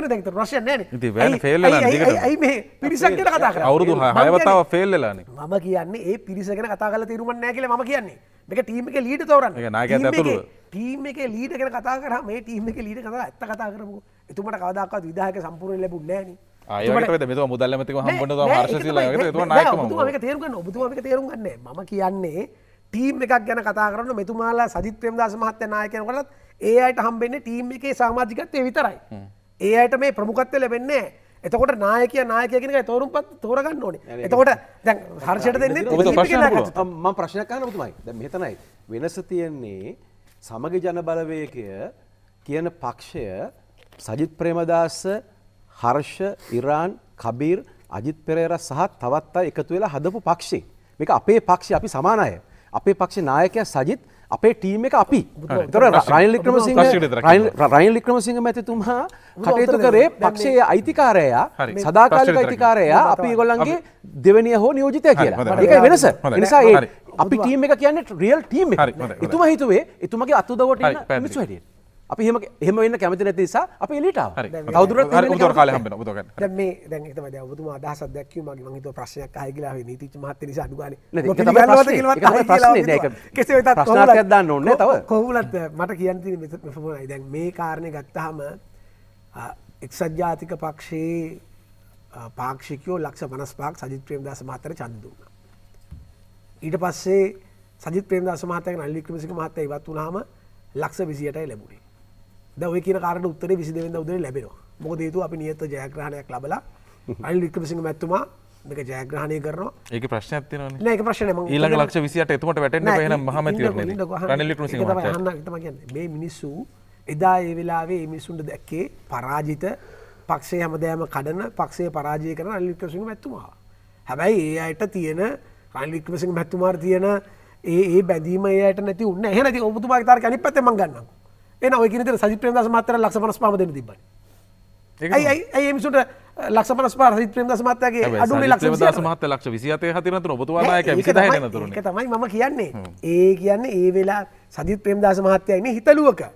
ඔය ලක්ෂ 55 සජිත් ප්‍රේමදාස මහත්තයා ගාව නැහැ ඒ ලක්ෂ 55 හැම්ම තියෙනවා නම් ඇයිද කියන්නේ? ඔය විදිහට උදාර ලෙස පක්ෂයෙන් වෙන් වෙලා වෙනම කණ්ඩායමක් එක්ක හොඳ කණ්ඩායමක් එක්ක ඉදිරිපත් වෙච්ච වෙලාවේ ලක්ෂ 55ම එන්න එපා ඒක ඒක එහෙම නෑ. ඒ- ඒ- ඒ- ජනාධිපතිවරණයකයි මහමැතිවරණයකයි ඒ වෙනසක් තියෙනවා ඒ කාරණය පැටලගන්න එපා. මේක පැහැදිලිවම එක්සත් ජාතික පක්ෂ කියන මේ රටේ පලල් තනි පක්ෂයක්කට පුළුල් තනි චන්ද බලයක් තියෙන පුළුල් පක්ෂයක්. ඒක අපිට අපි නියෝජනය කරපු වාමාංශික තනි පක්ෂට තිබෙත් නෑ. හැබැයි ඒක අපේ අපි හැමදෑම ආණ්ඩු පිටේ සන්ධාන ගත වෙලා. හැබැයි එක්සත් ජාතික පක්ෂ චන්ද කියන්නේ චන්ද ගොන්න. ලක්ෂ අතලිහ පණහක් කියන එක තියෙනවා පැහැදිලිව එතකොට මේක විග්‍රහ කරගන්න ඕනේ එන්නේ එකයි එතකොට එදා රනිල් වික්‍රමසිංහ මැතිතුමා පරාජිතයි පරාජිතයි පරාජිතයි වැඩක් කරන්න බෑ කියලා. එතුමට බෑ කියලා වැඩිපුර මිස්ට බීන් කරේ අපේ මාවාශි කඳවුරේ. අපි. කරේ ඇත්ත. එතකොට එදා මංගල සමරීර මහත්ය තමයි එතුමට බෑ කියලා පෝෂ්ටරය ගැහුවේ. ඒ- ඒ ලේබල එක ගහලා ඒ ලේබල එක ගොඩගන්න පුළුවන්කමත් තිබෙන අවසානය මොකද වුණේ ලක්ෂ පනස් පහක් චන්ද ලැබුණ. එතුමා ඉංගුණට පස්සේ ලක්ෂ විසියට සජිත්‍රීම මාත්‍ර ලැබුණ. ඒ ඉතුරු චන්ද ටික මතක තියාගන්න. දැන් ලක්ෂ විසියට විතරකුත් නෙමේ අර ඉතුරු චන්ද ටිකයි. ඊට අමතරව මේ ලක්ෂ විසියට විශාල චන්ද ප්‍රමාණයක්. දැන් මොකද ඒ අය ආසයි අපේ එක්සත් ජාතික පාක්ෂික දක්ෂිනාංශික පාක්ෂිකව ආසයි තමන්ගේ නායකය ඉස්මතු වෙලා වැඩක් කරන පෙන්න්න හැබැ එක ගෞර ඇත්තිනක ශ්‍රී ලංකා පොද්ජන පෙරමුට තියෙන ගෞරුව ඒ අපේ අපිට ලැබෙන නොට ගෞරය මොකදතුව මේ වෙලාවේ මේ ප්‍රශ්න මුණ දෙන්න. කිසිම කෙනෙක් ඉදිරිපත් වෙලා තිබෙන තිලාවේ ඇත්ත කියන්න පැ ශ්‍රී ලංකා පොද්ජන පෙරමුට ඒ ඒක කළමනා කරගන්න බැරූ ගියා. දේශපාලිකව අපේ නායකට අපි පත් කරගත්ත ගොඩා රාජපක්ෂ මැතුමට එක කළමනා කරන කරගන්න බැරුගිය ඒ තත්වය තුළ රටේ අපිට ලැබිච්ච ජන ලක්ෂ හටනම ජනවරමට සාධාරණක්ෂට කරන්න. අපි තෝරගත්ත නායක ඇතම අල්ලික්‍රසික මැතුවා එතුමා ඉතාම නිවැරදිව මේ රටේ තිබ්බ ප්‍රශ්නය තේරුම් අරගෙන සහ නොබියව මේ ඔය කියන කියන විදිහට මට නියම නායකයෝ චාමර මේ කොන්දේ සිතදා ඉන්න බලය ලබා ගන්න. ගෝටාවේ මහත්තය කවද්ද යන්නේ? මං එතකොට බාරගන්න රයිලිකමසිංහ මහත් ඒක බල හිට නෑන. එතුමගේ අදැකීම එතුම දන්නවා. මං අගමතිකම ගන්න අගමතිකම ගත්තම ටික දවසකින් යනකොට ජනාධිපතුමායන තුම ජනාධිපති වෙන රයිලි සජිප්‍රේදස් මහත්‍ය මවද කරේ? මට කවද එහෙම මේ පන්දේශවල තිල පලය දෙන්න මිනිස්සුන්ට. එතකොට එතුමාගේ අගමැතිකම බාරගත්ත නැත අගමතිකමට තෝරගත්තද අගම ඇතර කවරුත් කර හිටිනේ අගමතිකමට තෝරගත් අලික්‍රමසිංහ රනිලිකමසික මැත්තුමා අගමතිකම බාර තෝරගත්තා. අපි තෝර අපි තෝරගත්ත මුලින්ම නෑ, අපි නෙවෙයි. නෑ අපේ ආණ්ඩුව මුලින්ම අගමැතිකමට තෝරගත්තර සජිත් ප්‍රේමදාස මහත්තය. සාමාන්‍ය ක්‍රමවේදය මොකක්ද ආණ්ඩුවක් වැඩුණු හම විපක්ෂයට ආරධනා කරනවා ඇවිල්ල මේක බාරගන්න කියලා. අපි අපි යෝජනා කර අපි බාරගන්නක තුක බාරගත්ත නෑ ඉට පස ඔබතුමාල නායක හොයාකන් හිටියෙත්න ඒ පර සජිත් හිටියා කියන්නේ? කොහෙද කොහෙද කින්ද බන්ධන අනුකුමාර දිසානක නෑ, නෑ. ඒ පාර තමයි. හොයාගන්න ඒ පාර අවසන් තමයි. අර- ඒ පාරතම රැලි කෘසික මහත්තයට මේක යෝජනා කරම තු බාරගත්තා. තුමා ඒ පාර තමයි අපි අපි ඇත්තරම ඒ සම්බන්ධයෙන් අපි ඇත්තරම නිහතමානීව අපි සතුරු වෙනවා. මේ රට මේ තත්ව ගේන්න පුළුවන්නායකි මේ ආර්ථික වර්ධන ගේන්න පුළුවන් නායකෙක් අපි හොයාගෙන තියෙනවා. ඒ නිසා තමයි අප අර පාට පක්ෂ කන්නාඩි රුද්‍රගත දේශපාලය අමත කරලා. ඊළඟ පාල පාලිමෙන්තුවෙනි කොහොමදලා අමත කරලා. මේ රටේ තත්වේ රට ඉස්රහට ගෙනියන්න. එතුමගේ දක්වා හොඳයි. බොහොම ස්තුතියි. අපි ඊළඟ වටේ අවසන් වටේ සාරාංශයකට පැමිණෙන්නේ මිනිත්තු 3ක කාලයක් හිමි වෙන්නේ. කෙටි විරාමයකට යමු. හොඳයි. කරටකර අවසන් වටය මිනිත්තු තුනක කාලයක් පාර්ශව කිරීමේන්නේ අපි ඉලක්ක කිරීම්වලට ගැටලු නොය සමස සාරංශයකට පැමිණෙන්ට අවස්ථාව තිබෙන්නේ ජාතික ජනපලවකට අවස්ථාව. චාමර ද අපි මේ බෞද්ධ ජනතාවන කතාකරට මුස්ලිම් ජනතාව එලක් කරගනත් මේ වගේම බොරු ප්‍රචාරය යවන අපි අවුත් කුරාණ කියවන්න දෙන්න යාක්ෂා කරන්න දෙන්න මුස්ලිම් පිරිමයට ඔලුවන්න දෙන්න වගේ. ඒත් අර එකම කණ්ඩායමතයි මේ දෙපැත්තර මේ ආගමික ගැටුම් හදන් උත්සා කරන්න. ඉතින් මම කියන්නේ මේ රටේ ජනතාව තේරුම් ගන්න ඕනේ තීරණාත්මක මැතිවරණයක් අභිමුවදී මේ හදිස්සියේ මෙවැනි දේවල් මේ මඩ ප්‍රචාර කරගෙන යන්නේ ආයසරයක් මේ රටේ වැටුණු ආර්ථික ගොඩ ගන්න බලාගෙන නෙමේ කෙසේ හෝ ජනතාව රවට්ටලා බලය ඩැහැගෙන පාස්කු ප්‍රහාරයෙන් හරි ගමන්නේ බලය ගන්න පුළුවන් වගේ තත්ත්වයකට වැටිලා ආයේ බලය ඩැහැගෙන සුපුරුදු දේශපාලන ක්‍රියාවලිය අනුගමනය කරන්න. ඉතින් මම කියවනේ අපි දේශපාලන සංස්කෘතිය වෙනස් කිරීමේදී මෙන්න මේ මෙන්න මේ කරුණු දේශපාලන වෙනස් කරනවා. ඒ සමහර ඒවා දැන් තියෙනවා නම් රයිට් භාගයට හරි කරලා ඒවා හොඳයි. හැබැයි අපි පැහැදිලිව ඉදිරිපත් කරලා තියෙනවා මෙන්න අපි කරන්න යන දේ. ඒ වගේම අපිට වැදගත් වෙනවා අලුත් ආණ්ඩුක්‍රම ව්‍යවස්ථාවක් එනකම් මේ පළාත් සභා ක්‍රමය පවත්වා යන්නේ කොහොමද කියන එක. ඒක උතුරේ ජනතාවට උතුරේ ඡන්ද ගන්න මෙච්චර කල් දේශපාලන පක්ෂ විකුණපු දේ තමයි රයිට් අපි ආම අර බලය දෙන්න මේ බලය දෙන්නම් කියන එක. අපි ඉන්නේ පළාත් සභාවල මේ පවතින තත්ත්වය. මේක ඇවිල්ලා 13 වෙනි සංශෝධනයේ පූර්ණ බලාත්මක කළා නෙමෙයි මේ පළාත් සභාව තියෙන්නේ. පළාත් සභාවල මේ පවතින තත්ත්වය මෙලෙස පවත්වාගෙන යනවා අලුත් ව්‍යවස්ථාවක් දක්වා ඒ ව්‍යවස්ථාවේදී ජනතාවට අවස්ථාව ලබා දෙනවා ඒ තමන්ට තියෙන අදහස් ඉදිරිපත් කරලා අලුත් ව්‍යවස්ථාවක් කෙටුම්පත් කරන්න. එහෙම නැතුව අපි මේ ඉඩම් පොලිස් බලතල සහිතව පළාත් සභා පූර්ණ වශයෙන් කියන්නේ 13 පූර්ණ වශයෙන් බලාත්මක කරනවා කියලා කොහෙවත් අපි ලියලා කියලා නැහැ. අපි බොහොම පැහැදිලිව උතුරෙත් දකුණෙත් කියන්නේ එකම දේ. සමහර විට මෙන්න මේ වගේ වගන්ති දාපු ඒවා මගහරින්න අර බොරු ආගම් සම්බන්ධ බියක් හදන එක වෙන්න පුළුවන්. නැත්තම් මේ ඇත්තට මේ රටේ අවුරුදු 30ක යුද්ධයක් එක බැඳිච්ච සාකච්ඡාවනේ පළාත් සභාවලට ඉඩම් පොලිස් බලතා දෙනවද කියන එක.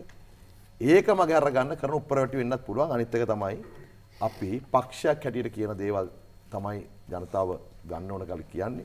ඉතින් අපි කියනවා අපේ මේ මේ ප්‍රතිපත්ති ප්‍රකාශය අපි දාන්න පුළුවන්. දැන් දාන්න දාලා තියෙනවා. මේ ප්‍රතිපත්ති ප්‍රකාශයක් කියන්නේ ආණ්ඩුක්‍රම ව්‍යවස්ථාවක තියෙන සියලු දේවල් දාන්නේව නෙමෙයි. අපේ භාවිතාවෙන් තේරුම් ගන්න කියලා අපි කියනවා.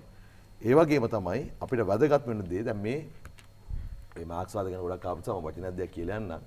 මේ කොහෙවත් පක්ෂයක් කොහොමද කටයුතු කරන්න ඕන ඒ පක්ෂ ගොඩන ගන්න ඕනේ කොහොමද පක්ෂ ප්‍රතිපත්ති ප්‍රකාශ සකස් වෙන්නේ කොහොමද කියන සම්බන්ධයෙන් නෙමෙයි මාක්ස්වාද තියෙන්නේ. ඒ රටවල ඒ මොහොතේ පැන්නගෙන තත්ත්වයන් එක්ක තමයි ඒ මාක්ස්වාදී පක්ෂ වාමාංශික පක්ෂ හැඩගැහෙන්නේ. ඒක නිසා එක කාලෙකදී ඉදිරිපත් කරපු ඒක ලෝකයේ තිබුණු තත්ත්වයන්ට වෙනස් වෙනවා නම් ඒ අනුව හැඩගැහෙන්න ඒ අපේ දේශපාලන දර්ශනය අනුව ඕන වෙලාවක ඉඩකඩ ලබා දෙනවා. හැබැයි ඉතින් ඕවා ගැන ඕවා ඇවිල්ලා 1950 60 මේගොල්ලෝ එල්ලිච්ච දේවල් ආගම ගැන, ওই මාක්ස්වාද ගැන, වාමාංශික ව්‍යාපාර ගැන බය හදන ඒවා ගැන සම සමාජ කොමියුනිස්ට් පක්ෂය ලංකාවේ වැඩ කරානේ. එහෙම බය කරලා තමයි රට ඒගොල්ලෝ බලය අරගෙන රට මෙතනට ගෙනාවේ. දැන් මං හිතන්නේ මේ දේශපාලනේ වැඩක් නැහැ කියලා අපි අලුත් විදියට මේක ඉස්සරහට යන්න තමයි කටයුතු කරන්න ඕන. රටේ තියෙන ප්‍රධාන ප්‍රශ්නය ආර්ථික ප්‍රශ්නය මේක වෙන වෙන කාරණා වලින් යට කරන්න දෙන්න එපා. විගණන වාර්තාවක් තියෙනවා 2015න් පස්සේ ගත්ත ප්‍රොජෙක්ට් ලෝන් වලට ට්‍රිලියන 8ක් කරන් තියෙනවා රුපියල් ට්‍රිලියන 2යි වත්කම් හැටියට තියෙන්නේ. ඉතින් එහෙම කරපු කණ්ඩායම් ආර්ථික ප්‍රශ්න වහගෙන වෙන වෙන ප්‍රශ්න වලින් ජනතාවගේ මනස විකෘති කරන්න හදුවට වැඩක් වෙන්නේ කියන ප්‍රතිඵලෙන් බලා ගන්න පුළුවන්. හැබැයි මතක තියාගන්න අනිවාර්ය වශයෙන් මේ ජාතික ආගමික ගැටුම් හදන්න උත්සාහ කරන සියලු දෙනාට එරෙහිව අපි අධිකරණ ක්‍රියාමාර්ග ගන්නවා. බොහොම ස්තුතියි ඔබතුමන්ට. ඔබතුමාට අවස්ථාව නම රාජපක්ෂ මහතා වෙනුවෙන් අදහස් පළ කරා. ඔව් දැන් මම මතු කළ මූලික තර්කයත් එක්ක මම නාමල් රාජපක්ෂ මැතිතුමාගේ ප්‍රතිපත්ති ප්‍රකාශය ළඟට ඒ වෙලේ මට එන්න ඕනේ නැහැ අපි වෙන සාකච්ඡා දෙකක පැටලුනේ නැස නමුත් ඒකේ මූලික පදනම මම කතා කළා. නාමල් දැක්ම ප්‍රතිපත්ති ප්‍රකාශය අපි පටන් ගන්නෙම චාමර මහින්ද චින්තන සංවර්ධන දශකයේ දිගුවක් වෙත යනවා. එය පරිපූර්ණත්වයට පත් කිරීමක් පිළිබඳ වෙනිසා මම කතා කරපු මහින්ද රාජපක්ෂ ජනාධිපතිතුමන්ගේ පාලන සමයේ මූලික පදනම ගැන අපි එතනින් එහාට යන්න මේ රටේ යම් ඉලක්ක සහිත ගමනක් යමින් හිටියේ. යාපාලන ආණ්ඩුවත් එක්ක ඒක සාමාන්‍ය ප්‍රතිපත්ති වෙනස්කම් වුණහම ලංකාවේ දේශපාලන වෙන අවුල තමයි එක අතකින් උනේ. ඒ වෙනස සිද්ධ නොවනා නම් අපි මේ රටේ සියලු දෙනා එකඟ නොවෙයි සමහර විට ඒ අනුගමනය කරු යම් යම් ක්‍රමවේදයන් සහ ආර්ථික සංවර්ධන මූලෝපායන් සම්බන්ධව නමුත් මේ රට ඉතාම යහපත් තැනකට ගමන් කරමින් තිබුණු බවක් අපි දැක හැම ශේත්‍ර එක හොඳරම තේරුම් ගත්තනේ මේ රටේ පෞද්ගලිකංශයේ ශේෂ්ත්‍ර තුළ සිද්ධ වෙච්ච සංවර්ධනය අපි ඒ වෙනස දැක්කා. නාමල් රාජපක්ෂ මේ රටේ රාජ්‍යනායකත්වයට ඔසවා තැබීම මත ඔහු විසින් අපේක්ෂා කරන සා අපි සිරදන එකතු වෙලා හදපු සංකල්පය තමයි මහින්ද ජනාධිපත්තුම විසින් මේ රට ගෙනියන්න හදපු තැනට අපි මේ රට අරගෙන යන්න ඕන කියන එක තම අපි මූලිකම පදනම ඒ පදනම මත ඉඳලයි අපි මේ ජනාධිපතිවරනිදි වැඩ කරන්නේ ම මෙන්න මේ කාරණාව කෙලිවර කරනවා. දොලේ අය දොලේ නැතුමට කියවුණ එක තැනකද අපි ගත්ත තීදු දේශපාලනයකයි කියලා ඔබ දේශපාලනිකයි කියෙන වචනයත් එක්ක මගේ ගැටුමක් නෑ. හැබැයි මම විශ්වාස කරනවා හැම පැත්තෙන්ම සුදුසු තීරණය සමාරු තීරණය ගත්තේ අපි කීප දෙනා කියන එක. මම ඒක දැඩි වෙදා ඉඳලම හිටිය ජනාධිපත්තුමා එක මේ ගැන කතා කරන්න මුණ ගැච්ච අවසාන සාකච්ඡාවවිදිත් මහිතුමාගේ මූුණටමත් මේ ගැනකුව මෙතුමත් හිටියා. මම නම් මුලයිඳලම කල්පනා කළ දෙයක් තමයි ගෝටාබේ ජනාධිපත්තුවාගේ පාලන සමය ඇතුළේ කැන ඒ පාලනය කරේ ඇතිවෙච්ච යම් යම් කාරණා මත සිදුවුණු සමාජ වෛරය මත තමයි ඒ අරවුල ඔහුට කල්මනා කරණය කරගන්න බැරි වෙන්නේ. හැබැයි ඒ අවුරුදු දෙක හමාරක් රනිවික්‍රමසිංහ ජනාධිපත්තුම ඇත පැවරීමෙන් එහා දේශපාලනයක් මන මුල් වෙලාම අපේක්ෂා කළේ නෑ. මගේ ඉතාම විවෘත එතුමරත් කියලා තියෙනවා. මං ඔය මොනවද අපි කොහොමද මේ කණ්ඩායම ඉස්සරහට වැඩ කරන්න කියලා කතා කරන්න. පසු පෙළ මන්ත්‍රේ කන්නයි විදිට අපි කැඳපු වෙලාවෙත් මං ජනාධිපත්තුමාට කිව්වා සමන්න මේ ගමන යන්න එන්නේ නෑ. කියටවත් එහම නැත්තම් මේ කතරල ගෙදර යනවා. එමකොද ඒ ප්‍රතිපත්තිම ඇත්තරම ප්‍රතිපත්තිමය යම් දුරස්ස භාවයක් තියෙනවා. ප්‍රතිපත්ති දුරස්ස කන්නෑම් දෙකට එකට වැඩ කරන එක ප්‍රායෝගික අමාරුයි කියලා හොඳටම පෙනිච්ච තැන යහපාල් ආණ්ඩුව යාපාලාන්දු මිඩ වැටෙන්නේ රනිවික්‍රමසිංහගේ වරදකින් හෝ මෛත්‍රපාල සිරිසෙනගේ වරදකින් නෙවෙයි. ඒ ඒ දෙගොල්ලන් විසින් දීර්ඝ කාලයක් විශ්වාස කළ දේශපාලන ආර්ථික සංකල්පවල තිබුණු දුරස් සභහ විසින් තම යවුල හැදුවේ. බොම සූති අපි මහිතනයි ජනාධිපතුවෙන් මෙපිට හමුවෙන්න නෑ අපි සීලු දනාට ඉතාම සාමකාමී මැතිවරණයකින් මේ සියලු කටයුතු අවසන් කරන්නට ලැබේවා කියන ප්‍රාර්ථනය තමයි අපිට කරන්න තියෙන සුති අවසාදුන සුති ම මුලින්ම කියන කැමති මේ අපේ ප්‍රතිපත්ති පිළිබඳව කවුරුත් දන්න ආර්ථිකය ගොඩනැගීම තමයි පළවෙනිම කාරණය. ආර්ථිකය ගොඩනගන්න සැලස්මක් තියෙන ඕන කණ්ඩායමක් ඉන්නවා. එතකොට මම බොහොම පැහැදිලිව කියන්න කැමති ආර්ථිකය ගොඩනගන සැලස්ම අපි ඉදිරිපත් කළ තියෙනවා විස්තරාත්මක. කවදක්වත් දේශපාලන ව්‍යාපාරයක් තුළ මැතිවරණ කාලයක් තුළ මෙවැනි සැලස්මක් ඉදිරිපත් වෙලා නැහැ. මම කියවනවා අපේ ප්‍රතිපත්ති ප්‍රකාශයේ නමෝන පිටුව. අපගේ ආර්ථික යෝජනා සැලැස්ම බ්ලූප්‍රින්ට් 3.0 මගින් මෙම අභියෝග ජය ගැනීමට ශක්තිමත් වර්ධනයක් තුළින් ආර්ථිකය අලිගොඩ නැගීමට හා සියලු දෙනාට සමෘද්ධිමත් අනාගතයක් සුරක්ෂිත කිරීමේ උපාය මාර්ග සැලැස්මක් සපයයි. අපි මේ සැමට ජයක් ලේඛනයේ අපි ඒක සඳහන් කරනවා මේ සවිස්තරාත්මකව තියෙන්නේ බ්ලූප්‍රින්ට් 3.0 කියන. එතකොට වික්‍රමසිංහ මහත්මයාට විවේකයක් තිබුණා නම් නවවෙනි පිටුව කියව ගන්න අපේ සැඹට ජයක් ප්‍රතිපත්ති ප්‍රකාශයේ එතුමා එතුමාගේ වටිනා ගුවන් කාලය නාස්ති කරන්නේ නැහැ. දොළවත මහත්මයාටත් ඔවැනි පැටලවිල්ලක් ඇති වෙන්නේ නැහැ. එතකොට දැන් වැදගත් දේ තමයි අපේ ආර්ථිකය පිළිබඳ සැමට ජයක් ලේඛනයේ විස්තර කරලා තියෙන මූලික සැලැස්ම හරි.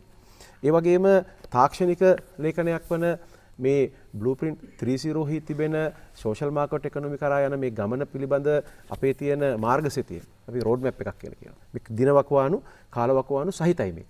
එතකොට පළවෙනි වතාවට තමයි මැතිවරණයක් තුල ආර්ථිකය පිළිබඳ මේ විදිහේ මේ නිශ්චිත කරන දේවල් කරන දිනය කාලවකවානුව අපේක්ෂා කරන ප්‍රතිඵලය ප්‍රතිශත දින වකවානු සංඛ්‍යා සඳහන් කරමින් ඉදිරිපත් කළ තියෙන. ඒක තමයි අපි කියන්නේ අපේ කණ්ඩායම විශිෂ්ටයි කියන්නේ. ඒ වගේම ඒ විශිෂ්ටත්වය කොච්චරද කිව්වොත් දැන් මේ බලන්න විද්වත් සභාවක් නෙමෙයි. වෛද්‍යතුමෙක්, නීතිඥ මහත්මයෙක්, උගත් මාධ්‍යවේදියෙක් දැන් එක වචනයක් කිව්වද මේ ආර්ථික ප්‍රතිපත්තියේ තියෙන අඩුපාඩුවක් ගැන? නැහැ. අඩු ගානේ මේ ස්ථානෙට ඇවිල්ලා කවුරු හරි කිව්වද මේ බ්ලූප්‍රින්ට් එකේ තියෙන වරදක් ගැන? මම හිතන්නේ කිව්වා කියලා. කිව්වනම් අපි දැනගන්නවා අපේ මාධ්‍යාංශය දැනගන්නවා එහෙම අඩුපාඩුවක් කිව්වා කියලා. මගේ විශ්වාසය මේ මැතිවරණ ව්‍යාපාරය තුළ බ්ලූප්‍රින්ට් එකේ බ්ලූප්‍රින්ට් 3.0 හි තියෙන අන්තර්ගතය පිළිබඳ කිසිදු විවේචනයක් නැහැ.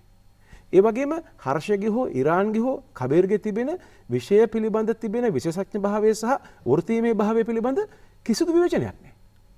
හරි එතකොට දැන් ඒගොල්ලන්ට පළවෙනි වතාවට තමයි ඔවුන් විසින්ම ගොඩනගපු පක්ෂේ සමග ජන බලවේගේ. ඔවුන් විසින්ම ගොඩනගපු නායකයා සජිත් ප්‍රේමදාස. මේ රටේ ජනාධිපති වුණාම මේ රටේ ආර්ථිකයේ මෙහෙවීම කියන මහා විප්ලවය කිරීමේ වගකීම ඔවුන් තිදෙන ප්‍රමුඛ අපේ කණ්ඩායමට බාර වෙනවා. ඒකයි අපි කියන්නේ අපිට හොඳ කණ්ඩායමක් ඉන්නවා කියන්නේ. එතකොට ඒ කණ්ඩායමට අපේ පක්ෂේ අපේ වැඩපිළිවෙල අපේ ප්‍රතිපත්තිය ඒ රට පිළිගත්ත දක්ෂ කණ්ඩායමක් අපිට ඉන්නවා. ඒ නිසා මම ඊටම සතුටින් කියන්නේ රටේ ජනමතය පිළිබඳ අපිට පැහැදිලි. අපි නිසක ලෙස මේ මැතිවරණය ජයග්‍රහණය කරනවා. ඒ වගේම ඒ ජයග්‍රහණය තුළ මේ රට සැබෑ ලෙසම ගොඩනගෙන අපේ ආර්ථික ප්‍රතිපත්තිය සහ අනිකුත් ප්‍රතිපත්ති ක්‍රියාත්මක කරනවා. ඒ හරහා මේ රටට ජයග්‍රහණ අරන් එන්න අපි අපේක්ෂා කරනවා. මට ආරාධනා කිරීම පිළිබඳ ඔබට ස්තුතිවන්ත වෙනවා ජාතික රූපවාහිනියට. බොහොම ස්තුතියි ඔබතුමාට. ඔබතුමාට අවස්ථාව.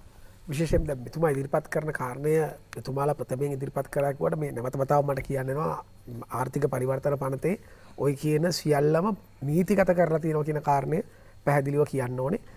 එතුමල්ලාගේ ඒ ආර්ථික දර්ශනය සම්බන්ධයෙන් ගත්තා මතන ලංකාය ප්‍රථම වතාවට තමයි දැන් තුමල ජනතා විතු පෙරමුණ සම්බන්ධයෙන් ආගම තුළත් නොකිරීම කාරණය මතු කරන වගේම එහමනම් ඔබතුමාලා ප්‍රතිපත්ති ප්‍රකාශ දෙකක් තියෙනවා එකන ඔය දෙකම බතුමාල ඉදිරිපත් කරුණු ජනතාවට කියන කාරය ම මේ අවස්ථාව කියන මොකතිතුව ඇමනු මද්දාල ඔබතුමාලා කියන මේක බ්ලු පින්ට් එකත් අයිති කියන කාරණය සම්බන්ධය. ඒකම විශේෂයෙන්ම කියන්න ඕනේ මේ ම ස්තුතිවන්තයන ජනතා විතු පෙරමුණත් යම් ප්‍රජාතන්ත්‍රවාදී විහුවයක් තුළ ස්රහට ඇවිල්ල මේ වැඩකටතු කරන්න බලාපොරොත්වීම සම්බඳධෙන් හැබ පතතින ගැටලුව තමයි.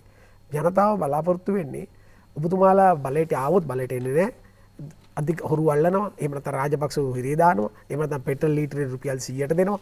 එමනත්තම් මෙසියලුව බාණ්ඩ පෙර පරදි පෙර තත්වය තුළ නිර්මාණය වෙන්න ඕන කියෙන ජනතා බලාපොරොත්තුව තුළ තමයි බුදුමාල බලයගන්නුන ගණඩවෙන්න හැබැයි එහෙම බලය අරගෙන ඒක ඉත්ෂ කරන බැරුණුත් ආපවසරක් ජනතාව කුපුතු වෙලා පාට බැස්සාම අපට දැනගන්න තියන්නේ අර ගෝටාබේ රාජපක්ෂ මහත්තයා බැහලගයා වගේ ඔබතුමාලගේ NPP හෝ ජනතාමුක්තුරුණ ආණ්ඩුව තුළ ඔය කියන විදිහේ මර්ධනයාන්ත්‍රයක් ක්‍රියාත්මක වේද මොනවතිකෙන කාරය සම්බන්ධයෙන්?